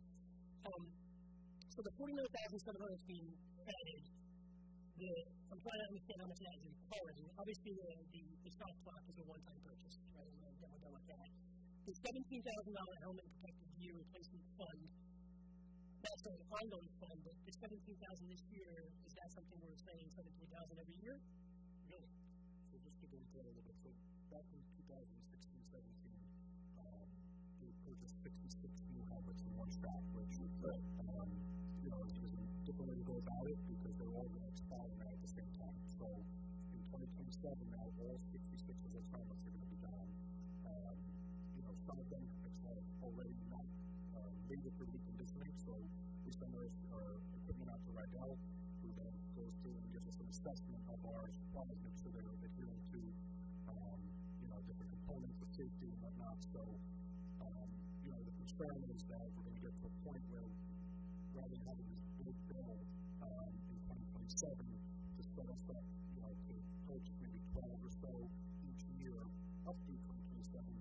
we're hoping that maybe in 2027 we'll have two to three years of a gap, and maybe we won't need that 17 Okay. um, so it's going to be two years or so, or three years without starting that repurchasing plan again. Yeah. So seventeen, How much? We have 67 or 68 homes. Oh, I to figure it out.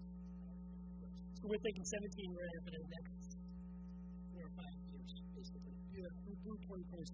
And then in a and then, and then back again. Okay. All right. Hey, look, you know, it's, safety's important, yeah.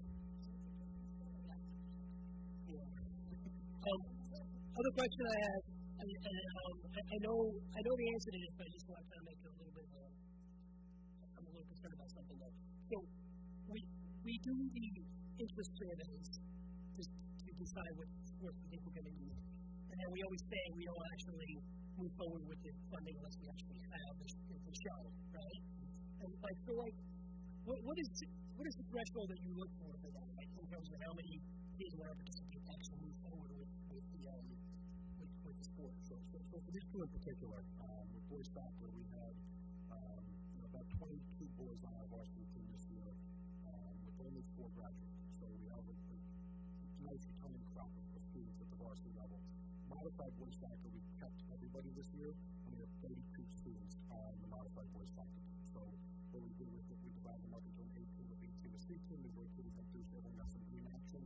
We really, the, the purpose of that was really to provide ample opportunities for students, especially at the middle school level, because we don't like to cut really at the middle school level. But at the same time, um, you know, it promotes the opportunity to grow the program. So that was where the JV boys soccer program came. Modified boys lacrosse, this is something we've had our, our, our JV team um, at the JV level for two to three years now. Um, some of those students are now going to get to that point where they can no longer play JV, so we'll have to transition out to the um, varsity program. And right now, you know, we do have students that are playing at the JV level that, you know, they, they want to compete, they want to participate in lacrosse, um, but at the same time, maybe modified is the more age-appropriate level for them. Um, so really, you know, next year, I know I've spoken to representatives from East Coast Blue Devils, which is our recreation programs for lacrosse. Um, and they pretty much advised me that, um, you know, times are changing a little bit where we actually have more students playing lacrosse than Eastchester has. And that's just um, the way Like in you said, it's coming up. Don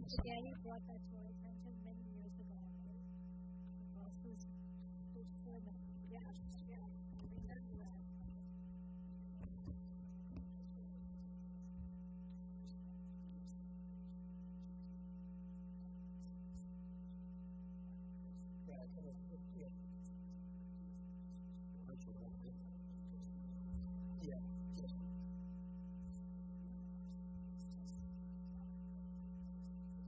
Yeah, put your mic on. So the kids at this age, they do things like that. So they do things that require us to do But so we're, work on the father athletic placement process, which is from York State Department of Education, what lays that out. A Medicare doctor will, conduct.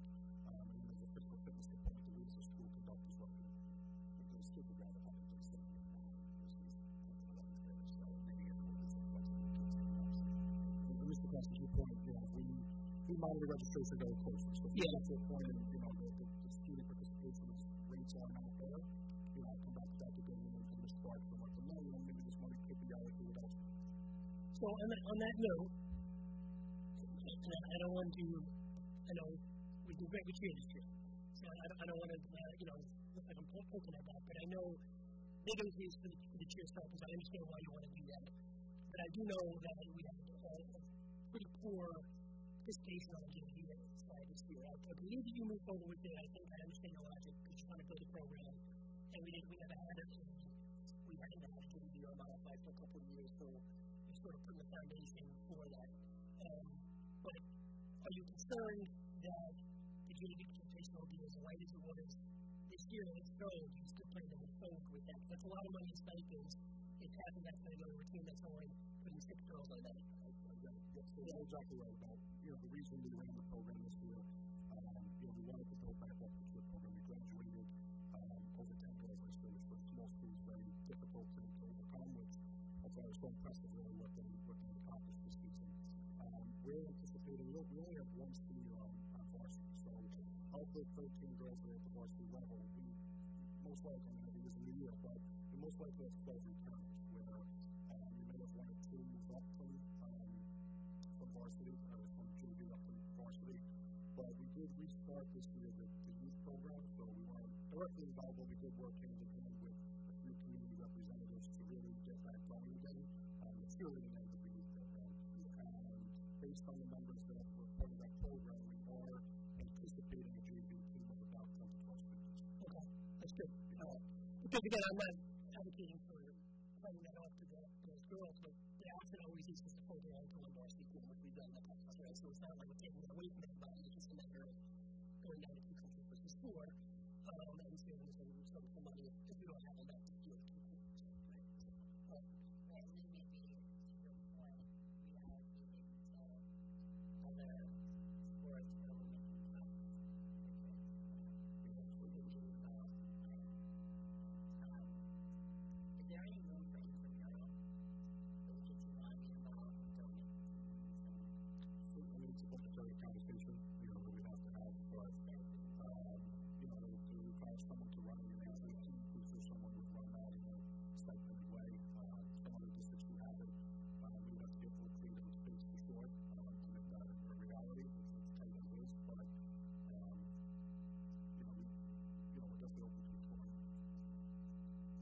I would just ask though, if, um, if it comes a, a, a sort of headline decision on the Green View side, that we be consulted, because, you know, we, we sort of approve with the idea that there's going to be enough participation, and if there's a decision being made about that, then we, I'd like to be, yeah, we like to be revisited with the board, because we're obviously ultimately approving it, so I appreciate that. Any other questions for Andy before I let him go? So, how's your sports plans? Yeah, we're, we're registration just,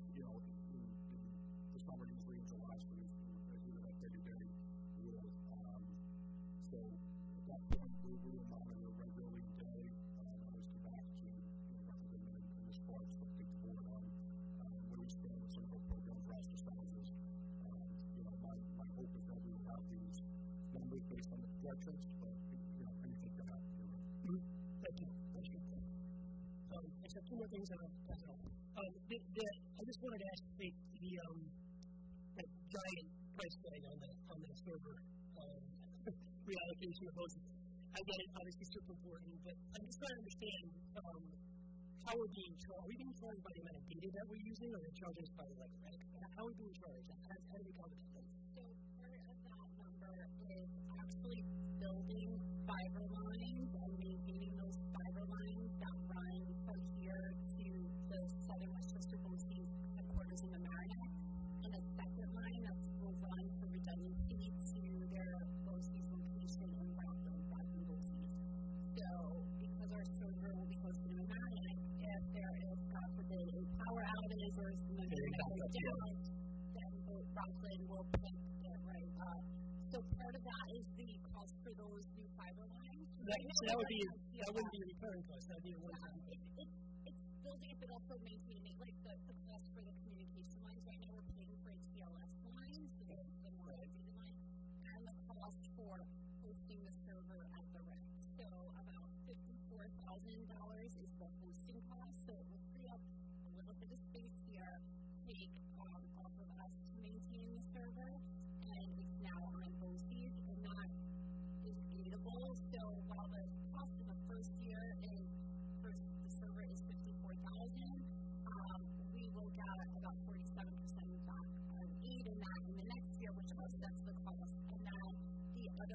portion of it, which was about forty thousand for the lines, is also aidable and eligible for E-rate. So, So while the the nineteen first thousand year- is not that we have to be prepared to pay that. But first, we get out of that money. in the second year, so then because BOCES is all those aids and E-rate are paid the year after you spend it, it's a big hit in your year of implementation. And then next, we'll have an additional revenue in the following year to offset this ninety-six thousand dollar cost. We also are not 25, so there's a savings there because we were able to get funding to buy 500 Chromebooks. So we probably won't have to do an IP for maybe another two years, which will help alleviate some of that. Really,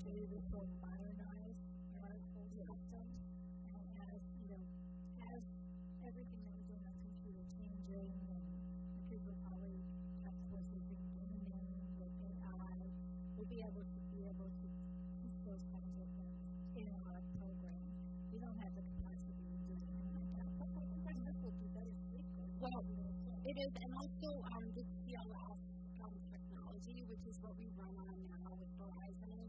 Um, Verizon has already said that it's going to become legacy and outdated. They haven't given a date, but um, now's the time to do it when we don't have an IPA and we have this forty thousand dollars coming off. It's the perfect time to take on a project like this um, because don't want to be in a position where we have to do this upgrade in two years when we have to do an IPA and we're now into uh, paying off, we're still paying off the server that we because we still have to buy, we would have to buy a server to replace ours anyway to much lower cost, but we just don't want to be in that position. Technology is changing so rapidly, it's hard to keep up with it. Okay. All right, thank you. I'll pass it on.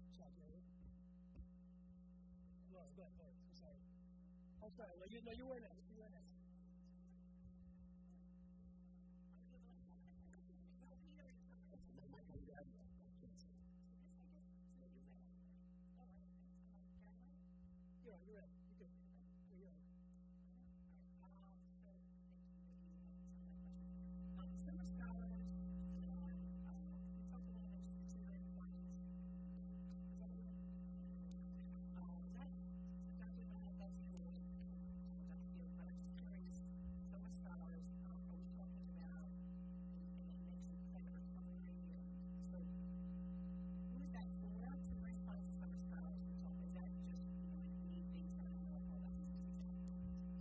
Some scholars open to all students for this valuable aid. Uh, it's particularly encouraged for students who withdraw the course, um, but it's still an opportunity for students to get some uh, opportunity to work on their you know, summer assignments, to do the summer reading. Uh, this uh, past summer, I think it's good that they did their uh, podcast activity that we kind of highlight to uh, uh, every class this upcoming year. The summer scholars that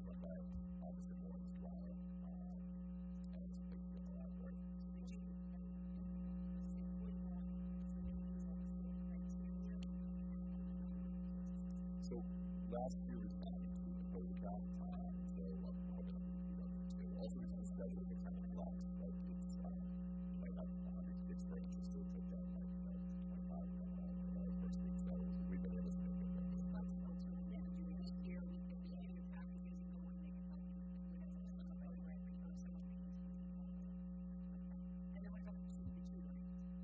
So there, there are two things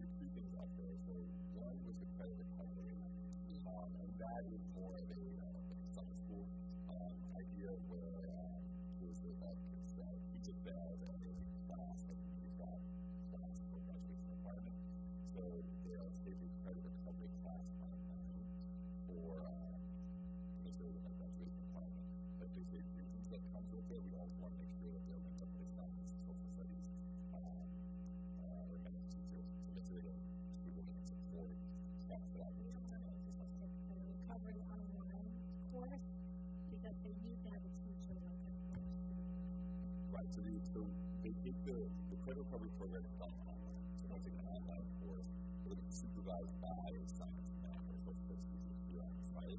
Um, and on site is where the student sessions will take place. So the students go to algebra, you come here over the summer, you complete over the course of the six or so weeks you have your class. You have more assignments,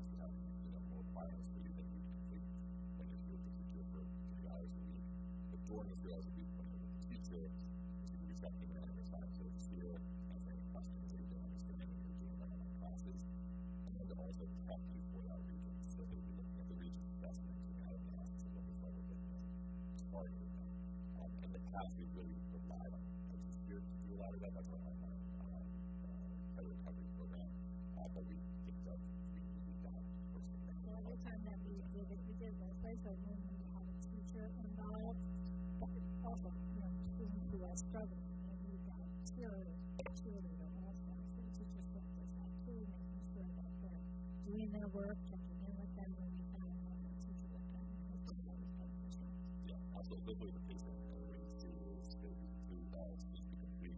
your.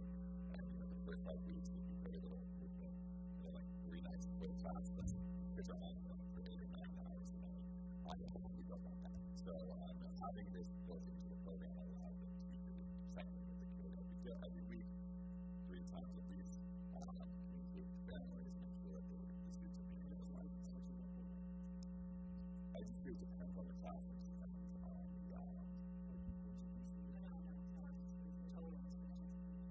Oh, the total, yeah, the total with the of it. Which that's for the teacher, that's for the, the people, but the register program. Yeah, register program, that's budgeted, and I, I want to say fifty seven dollars, and then one is teacher, teacher the the studies.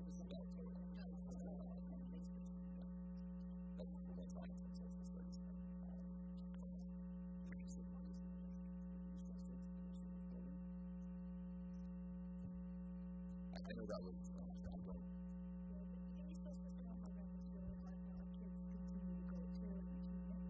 Schools the day, we have, we have some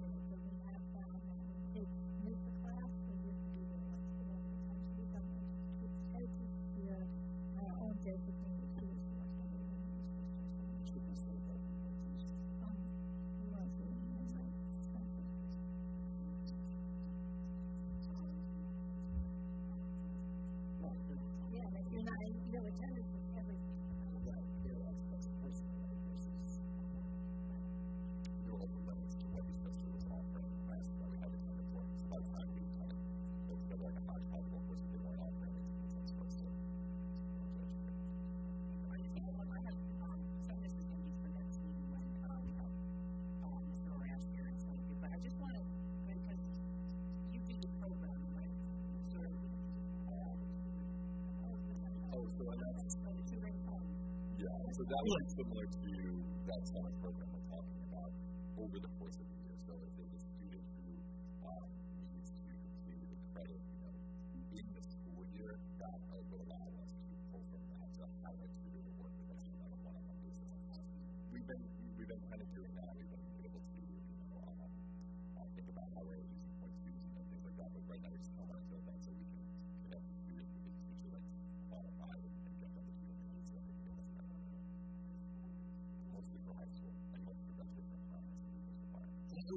teachers doing tutoring jobs?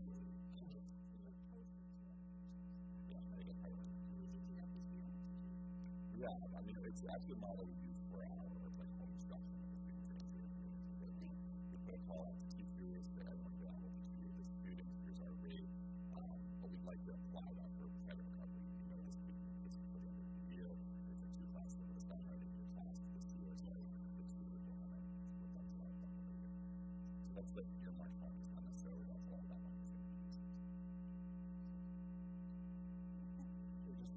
escape from Jerusalem. Which is one the programming that was that song that did. What was the song again? How long it was?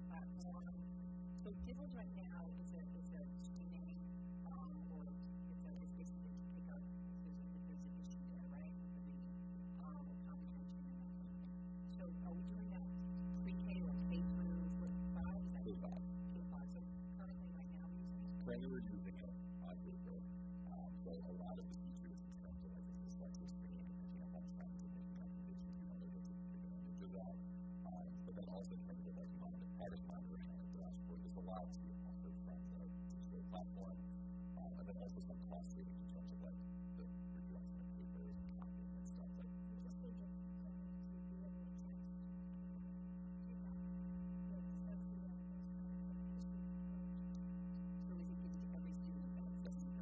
That's what I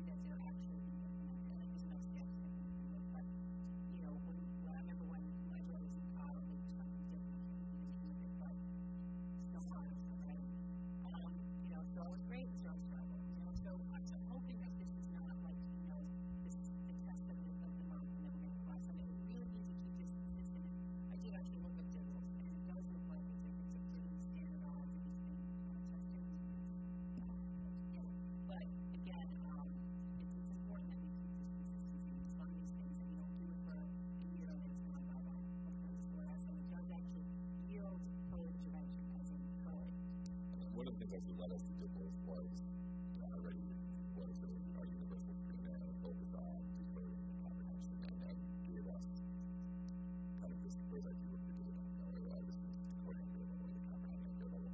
DIBELS, always want to break it down into like discrete skills. So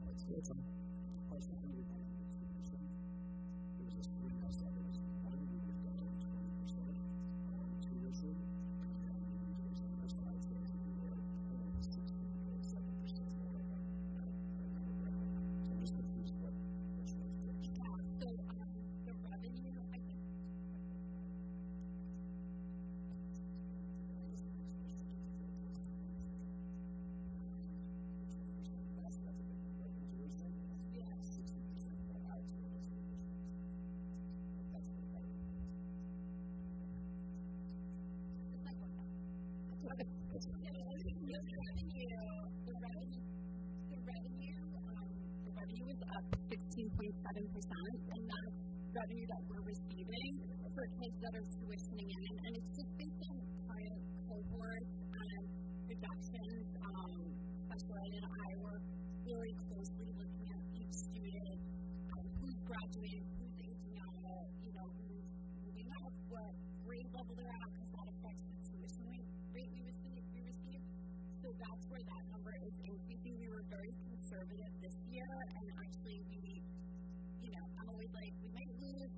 might graduate, but we brought in some kids, so we're projecting next year to be higher. So we are projecting an increase of 16.47%.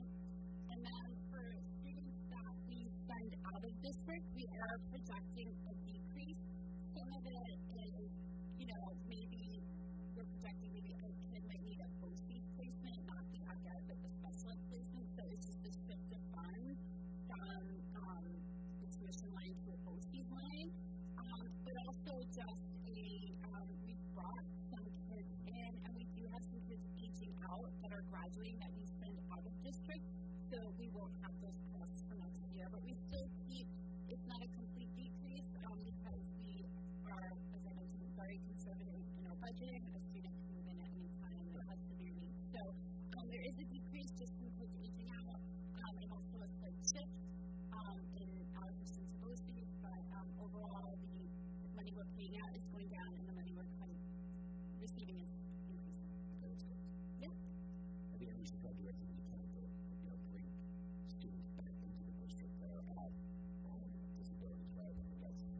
state,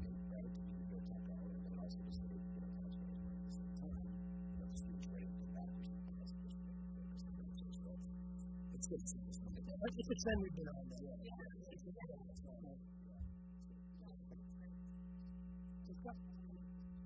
Okay? Yeah, absolutely. Is it? Anything else? And the only thing I, I, I want to table this for next time, really quick. There's a couple things that I didn't see in there that I know we talked about, um, you know, exploring for this budget. And we'll put a lot in there, and we're talking about, I think, 309,000 in additional. So you spend that in the room. I want to at least have the discussion maybe next time. Um, you know, we talked about some ideas about upgrading security cameras uh, on on guard, possibly, or some sort of uh, supervision of our fields. I know we got some quotes on that. We'll get into it next time. I want to have a discussion. Um, one of our board goals was to look at HR, not necessarily look at creating HR department, but looking at whether or not we wanted to do something in terms of um, examining our HR a little bit more closely or some sort of a external sort of consulting or something like that. I know we wanted to talk about that. It's, obviously, it's not in there. And then um, also uh, guidance support is the question of whether or not our guidance department needs any additional resources. So these things we're not talking about right now. We, we can talk about it next time. I just wanted to flag them because those were the items we talked about throughout the year that weren't in here. And I get it, there's a lot in there, and we want to keep it reasonable in terms of additional funding. So I just wanted to raise it as something to talk about next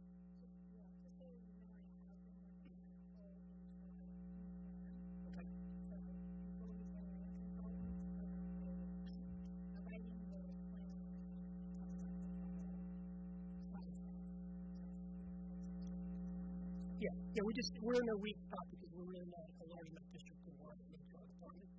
Um, but obviously HR is an important aspect of the school and doing it as we've been doing it is a little challenging because it's sort of a you know.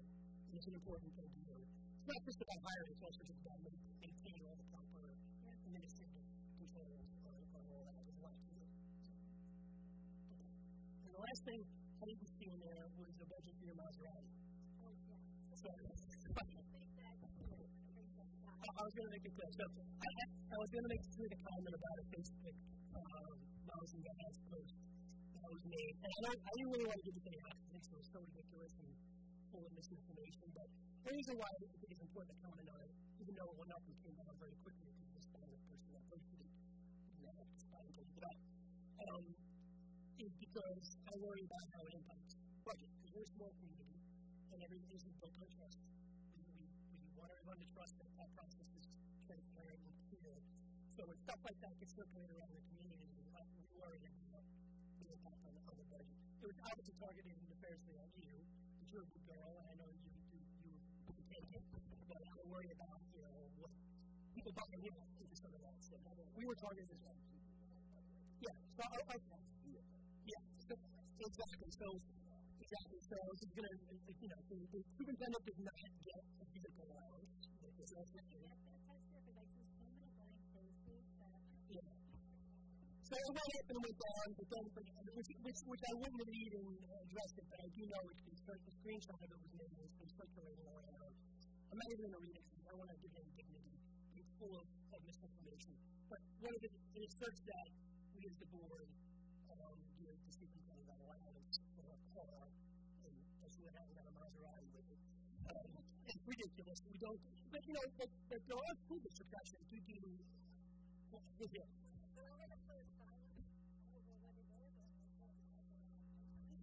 But yeah, there actually are districts in which today that give their superintendents the car allowance. We're not one of them. I think it's not alluded to it. It's kind of comical because the numbers that are in that post about the raises that she's gotten over the last couple of years, which are well deserved in my opinion, um, were put forth for tax sheltered vehicles. I think the, the brain surgeon that wrote that post thinks the tax sheltered vehicle something you can drive with. It has wheels and a steering wheel. And, but, yeah, yeah, yeah.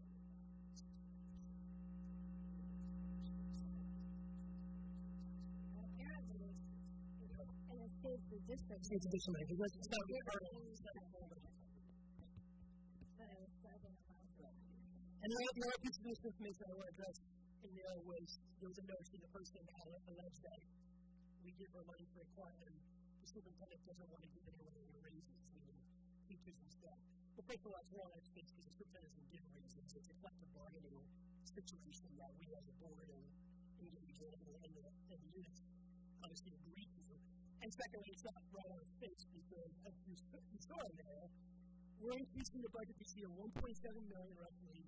1.3 million of that 1.7 is additional salaries and. So the notion that is ridiculous. So I just wanted to make a comment about it. I just don't want misinformation going on there and causing people to distrust in the process. And the superintendent's contract is on the website. If you want to go look it for yourself, you now know what a shelter vehicle is. You know it's not a car you can drive. Um, but anything on website and everything's transparent, there's nothing about it. So. Um, low level this is also now circulating amongst our students. Really, it came from an adult, because we all know teenagers do not go on Facebook. So somebody's trying to orchestrate something to um, sabotage our district, which is so unfortunate considering the amount of progress we've made. And unfortunately, and I've always told this since I've been on the board,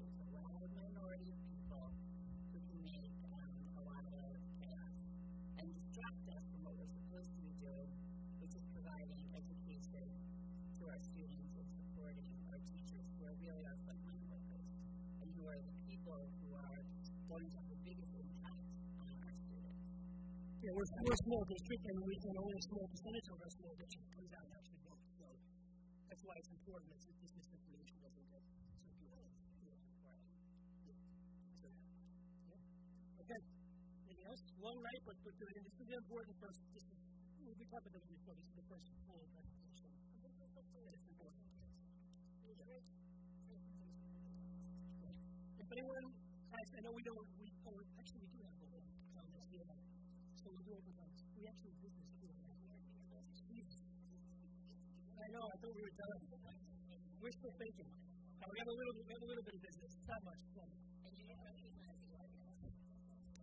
Oh, I didn't recognize the audience. But I, so I, I, I should recognize the audience for agenda items. So let me do that first.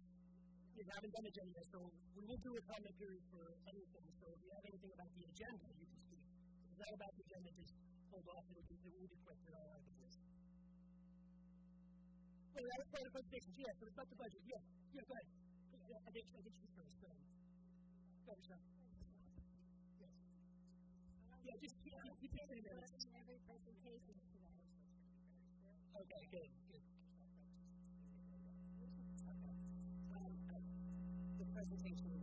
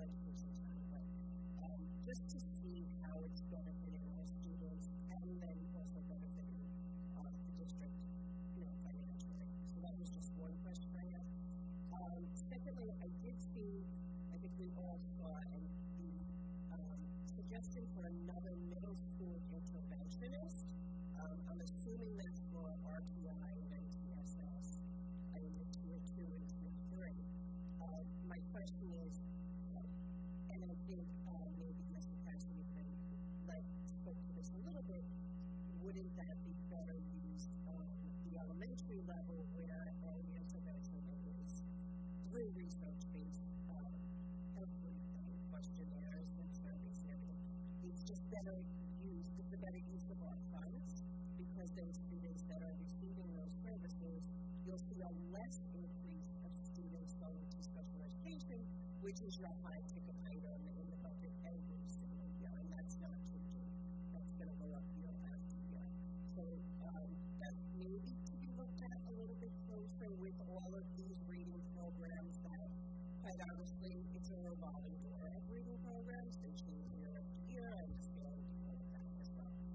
then lastly, um, I, I saw two or three different times in the presentation about special education initiatives and all of that, but I didn't see any special education anything. The addition of special education was in the speech teacher, additional point by speech. I, uh, but you'll see that when we do the power So of, of, of everything put into the budget and those special education initiatives, it's the 0.5 but we already, but this budget supports the full continuum of placement of all students.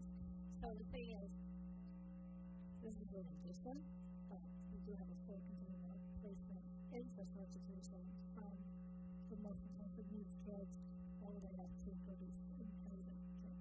In, in you saying that, is there a um, comprehensive flow chart from Cottle through the high school of what the offerings are? I did see on the district website what the overall terms are of the programming, but do we have a comprehensive list of what's in each school so that we see where the continuing services actually goes? I think, I think it's in the district plan.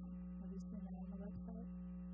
I, I have to look again, but I, I think it's sort of, it might be embedded somewhere where parents might have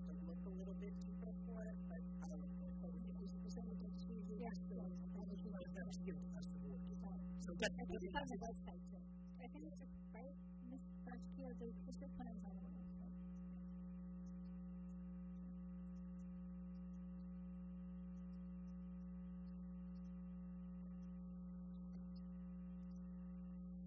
Thank you for your presentation. It was very clear. Uh, that's Sylvester, 11 Gifford Street. Um, I would like to know um, the education of the literacy. What you see as their background? Okay, well, we're still, we haven't even put up the, the, um, the posting yet, so we're still developing that. But what would be the requirements for somebody? They want them to be, um, trained in both Wilson and the Lindamood-Bell program. Um, I see, I agree with what Michelle's saying about the interventionist being at Cottle. However, we do have a whole slew of students, as we know, in the middle and high school who never have phonics, who have undiagnosed, you know, reading concerns. So I do see the um, necessity of the interventionist. Would the interventionist also be a reading specialist? I'm kind of confused as to It, it will be a reading specialist, could be a special education teacher that's that reading specialist. Well, I see, I see it both ways. Mean, I having worked with reading specialists and special education teachers, special education teachers can be and reading specialists when they are trained in that way. So I do believe it could be a special education teacher also who's trained in Wilson or trained in Irving Bell or whatever type of training that they have. So would they be lightening up the current middle school, high school reading specialist load? Yes. Okay. That's the most important thing because, is, and, and that person is special. Yes, and we need equity. Yes, exactly. And we know that, you know, we just put in a finance kind of program, a lot of kids did not get that. Um, the whole, we see the difference in the kids that got it compared to the kids who didn't get it. Um, just looking like right down, and then of course we had COVID when some of them were get it, or did put it in, which is a little hard to do that program when everybody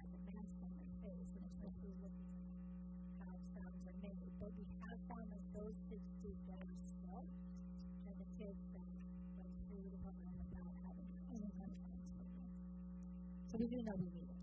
Right. Okay. Good. Um, Faith, if you can't find the slide, it's fine. On the 23-24 proposed budget slide, it says supervision with a 3.04 increase. What does supervision mean? So the supervision function are all our principals and assistant principals, and they're really across like the principals, assistant principals, school secretaries, and their um, office related like supplies, materials. So that's like that's what that makes sense. Okay, great. Thank you.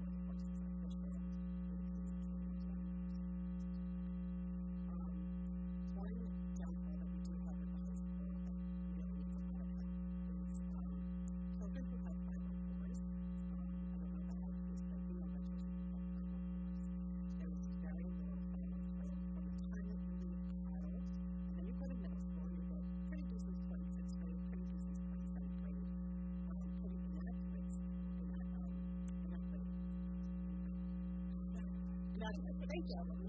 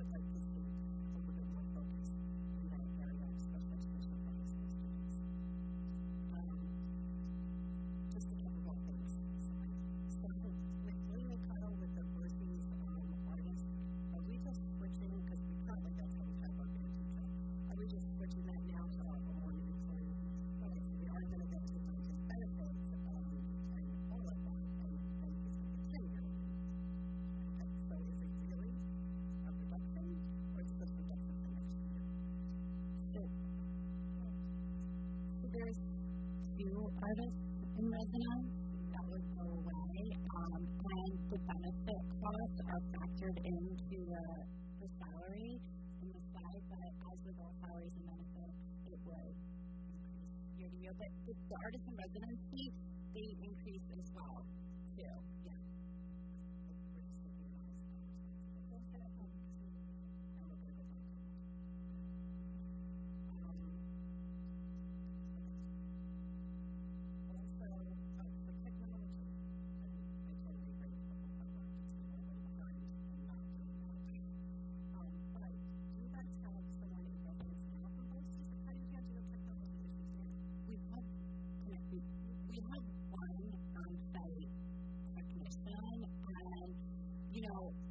seeing technology in everything, even in places you wouldn't think there's technology. Like the HVAC systems we installed are all operated through technology.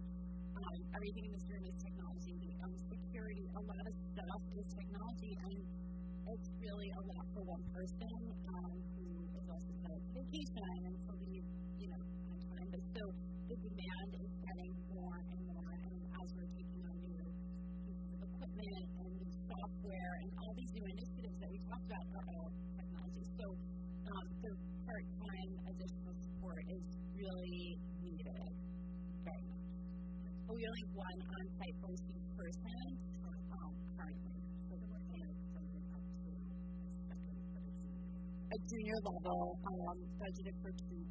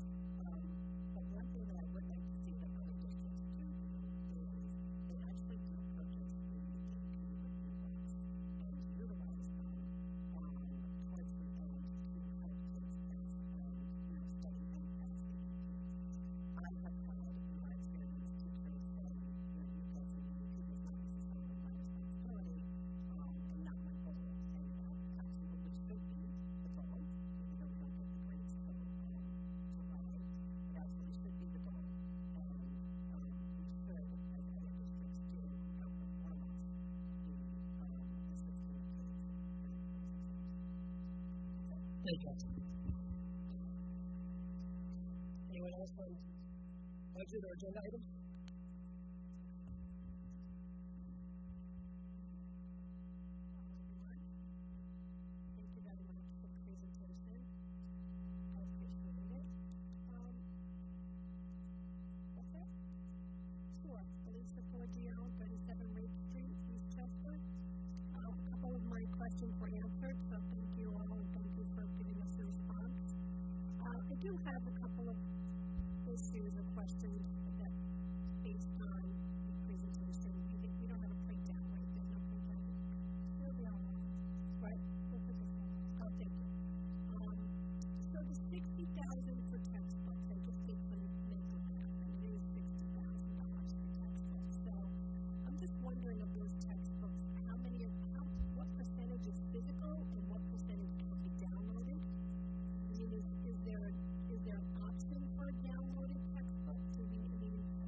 Thank you.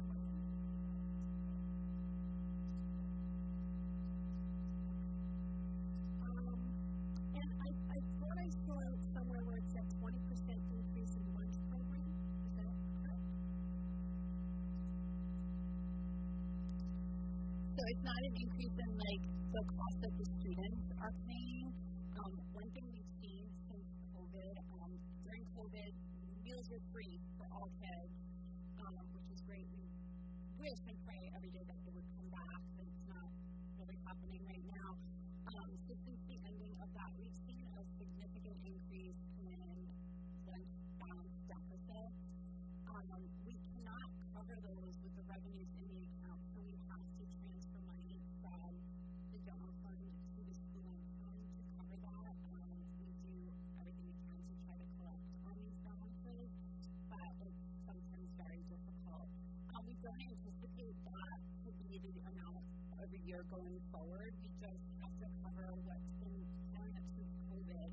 Um, it's really difficult. What's the total number on that? It's about 21,000. We're getting it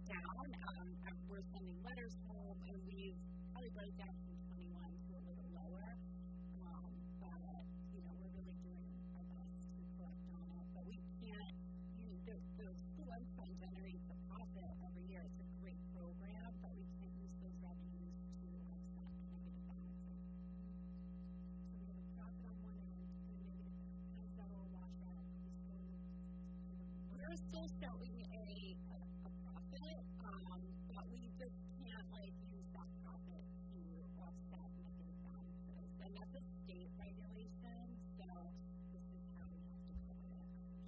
We're hoping that maybe one year that there'll be funding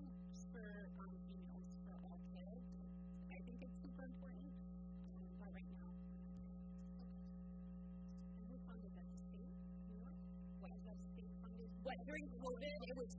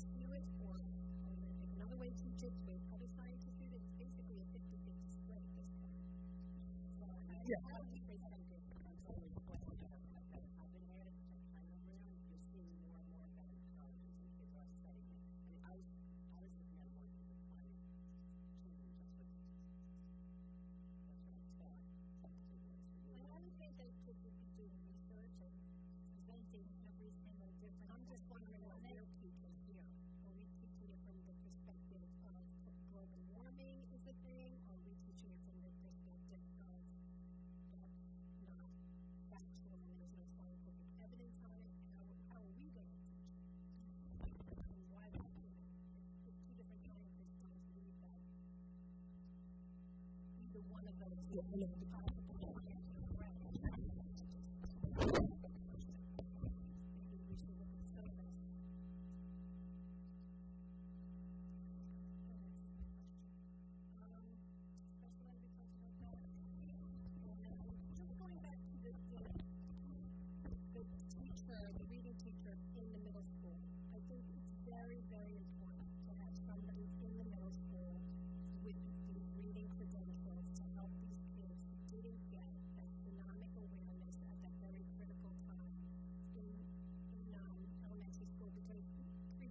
communicating all of you and everybody in power right now. It just wasn't how they taught reading. They taught reading in a, in a very kind of um, memorization and sight word manner, which did not appeal to a lot of kids. A lot of kids did learn to read that way and were able to, but kids who really needed phonics and the kids who have phonemic awareness deficiency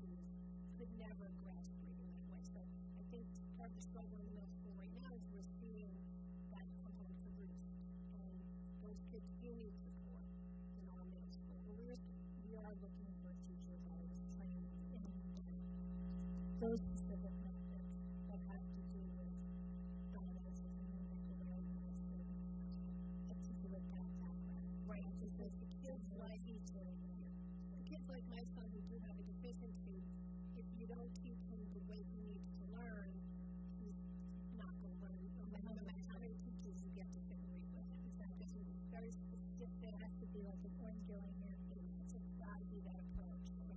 yeah, we, we, we've talked about that.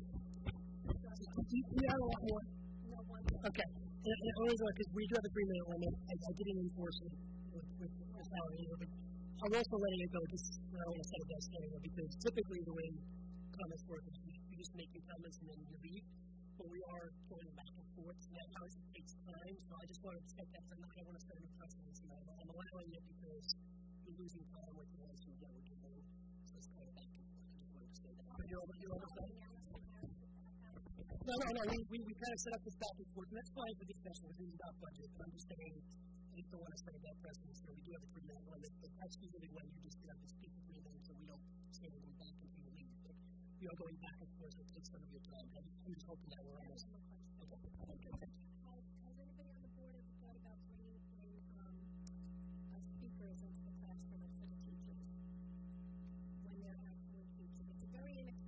Way. It makes a big impact on learning.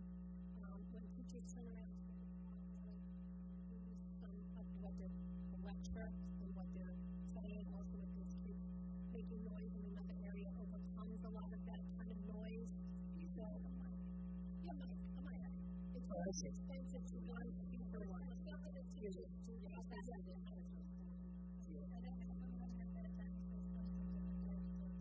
yeah, I, I just, I don't, I that any of my son's teachers have that. I was just wondering if it ever was discussed or a possibility or thinking about or or specific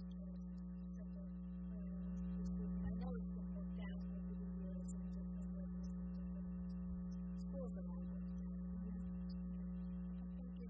Thank you. Anybody else? All right.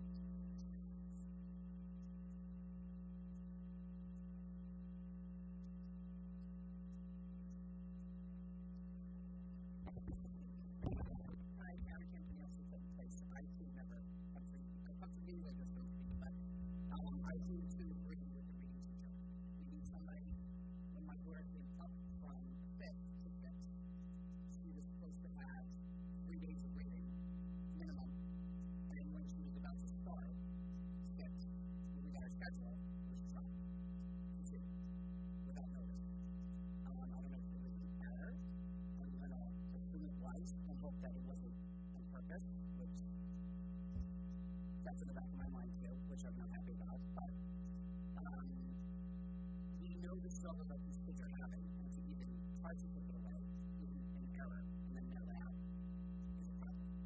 So whatever we need to do with the reading teacher, it needs to happen, and it needs to happen. Um, the other thing I wanted to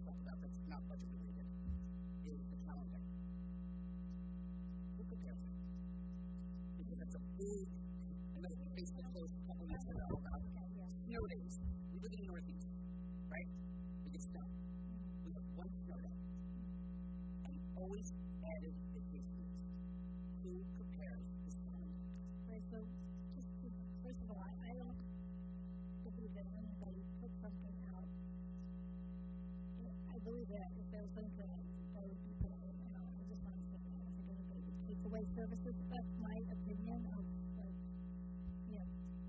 integrity of the staff. But secondly, on the calendar, Disagree on that. okay, uh, as far as I'm We'll disagree on that. Okay, but on the calendar, the, um, part of it is given by the teacher's contract, and what's in the teacher's contract as far as snow days. And part of it is we look at other calendars, BOCES and other calendars in the region, and we try to do our best to match up with those calendars, especially because,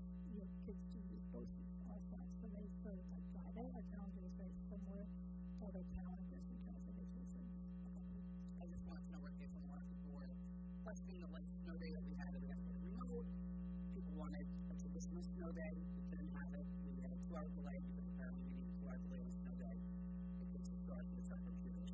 So we a two hour delay and then we were shortening classes and the whole day I watched obsessed. And my daughter was more absent when she was there. I was there. So I get little hiccups, but I I feel like if it's a snow day, then just keep it a. Is is something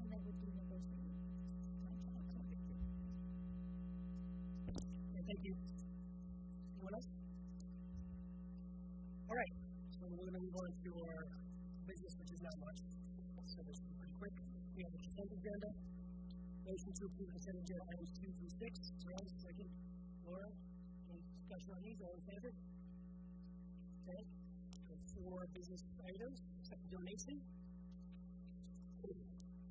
Whereas Tuckahoe Free School District has been offered a donation from the Tuckahoe Athletic Council to benefit the Common Cause Committee at the William D. Potter Elementary School, and whereas the district would like to accept such a donation, hereby resolve that the district shall accept a donation from the Tuckahoe Athletic Council in the amount of three thousand dollars, three thousand eight hundred eighty-five dollars and forty-six cents. Do I have a motion? Yes. Thank you. Cool. Any discussion on this? Obviously, thank you very much to the Tuckahoe Athletic Council. It's a great, um, donation. What, what, what's it going to be used for? Oh, oh, it's for, it was for the Wizards, okay. It'll be used for the business Yeah. partner. Okay, that's right. That's right. Yeah, no, I know there's a, a donation coming for, for that, so know that okay, so that was for the, I got it, you know, from the, from the, uh. Mhm. Yeah, yeah. Okay. All in favor? All in favor? Approve a budget amendment.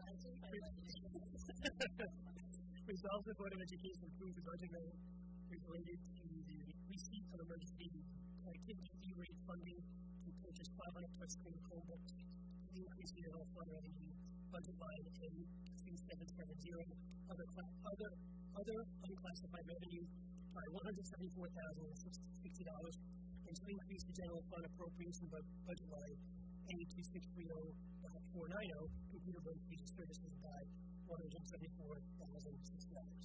Get a motion. Yes, second, any discussion on that? All in favor? Approve, uh, proposal. Resolve the Board of Education of Tuckahoe Free School District approves proposal AI for Education for keynote at address the workshop for district staff on March 15, 2024, superintendent's conference day, not to exceed five thousand five hundred dollars and reasonable travel expenses. Do I have a motion? Second. Cynthia, any discussion on this? I assume this is going to be, this, this sounds pretty cool. So AI training for the teachers at day? Yep. Very good. All in favor? And lastly, approve the transportation services agreement, resolve the Board of Education approves Saddle River, Saddle River Tours, LLC, for transportation services for the NYSPHSAA, varsity girls basketball state championship event, an amount not to exceed two thousand eight hundred dollars for this board inclusion. Got a motion? Second. Discuss. So the discussion is obviously to get our girls basketball team state, so we wish them luck. All in favor? All right. Uh, that brings us to our second recognition audience. Any items at all? Any, any other takers? Anything at all? No? I can't see on. Okay, go ahead.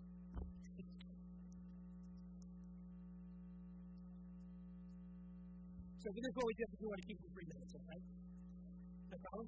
Right, good. So, um, question about the website. Meeting minutes. They're not posted. The last post that is from 2019. And before. No, I'm in BoardDocs. I'm in board.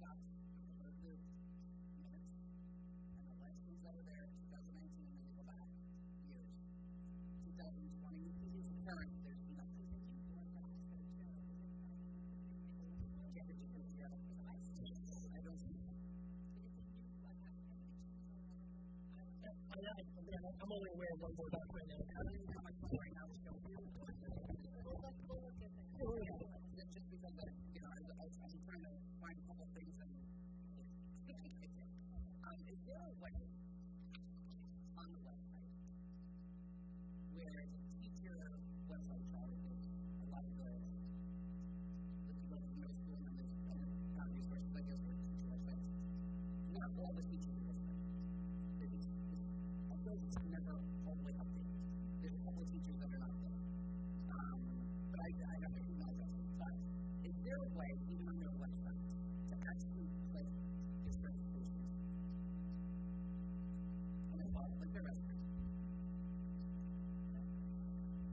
information, right? Hiring them, we have that as part of the interview process. Can we do that? So that when we have a teacher who's teaching our child, we know what to.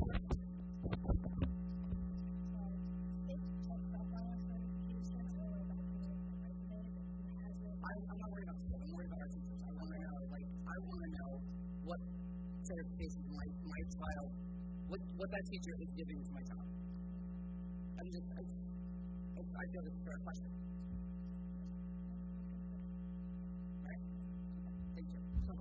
Thank you.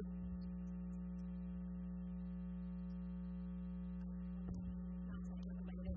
I don't know if you guys are aware of this, but the eighth grade health class recently had a class where the kids were shown um, a, a film, a movie, and it included a live I'm bringing this up because when I got the syllabus for, for the, the curriculum of the class, we had to sign it so that we, you know, the teacher knew that we all uh, were understanding what was going to be taught in the class.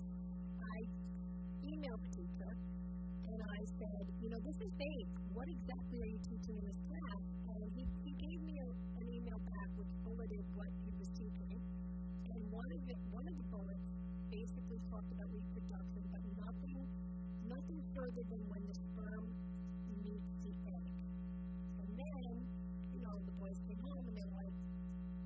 I've been traumatized. Uh, this is what I saw class today, which, you know, it's part of self I just feel like the parents should have had some notice on this issue so that we could prepare our sons. And the fact that I asked the teacher for more information and then was still not told that this was going to be part of the curriculum, you know, I think that was an oversight.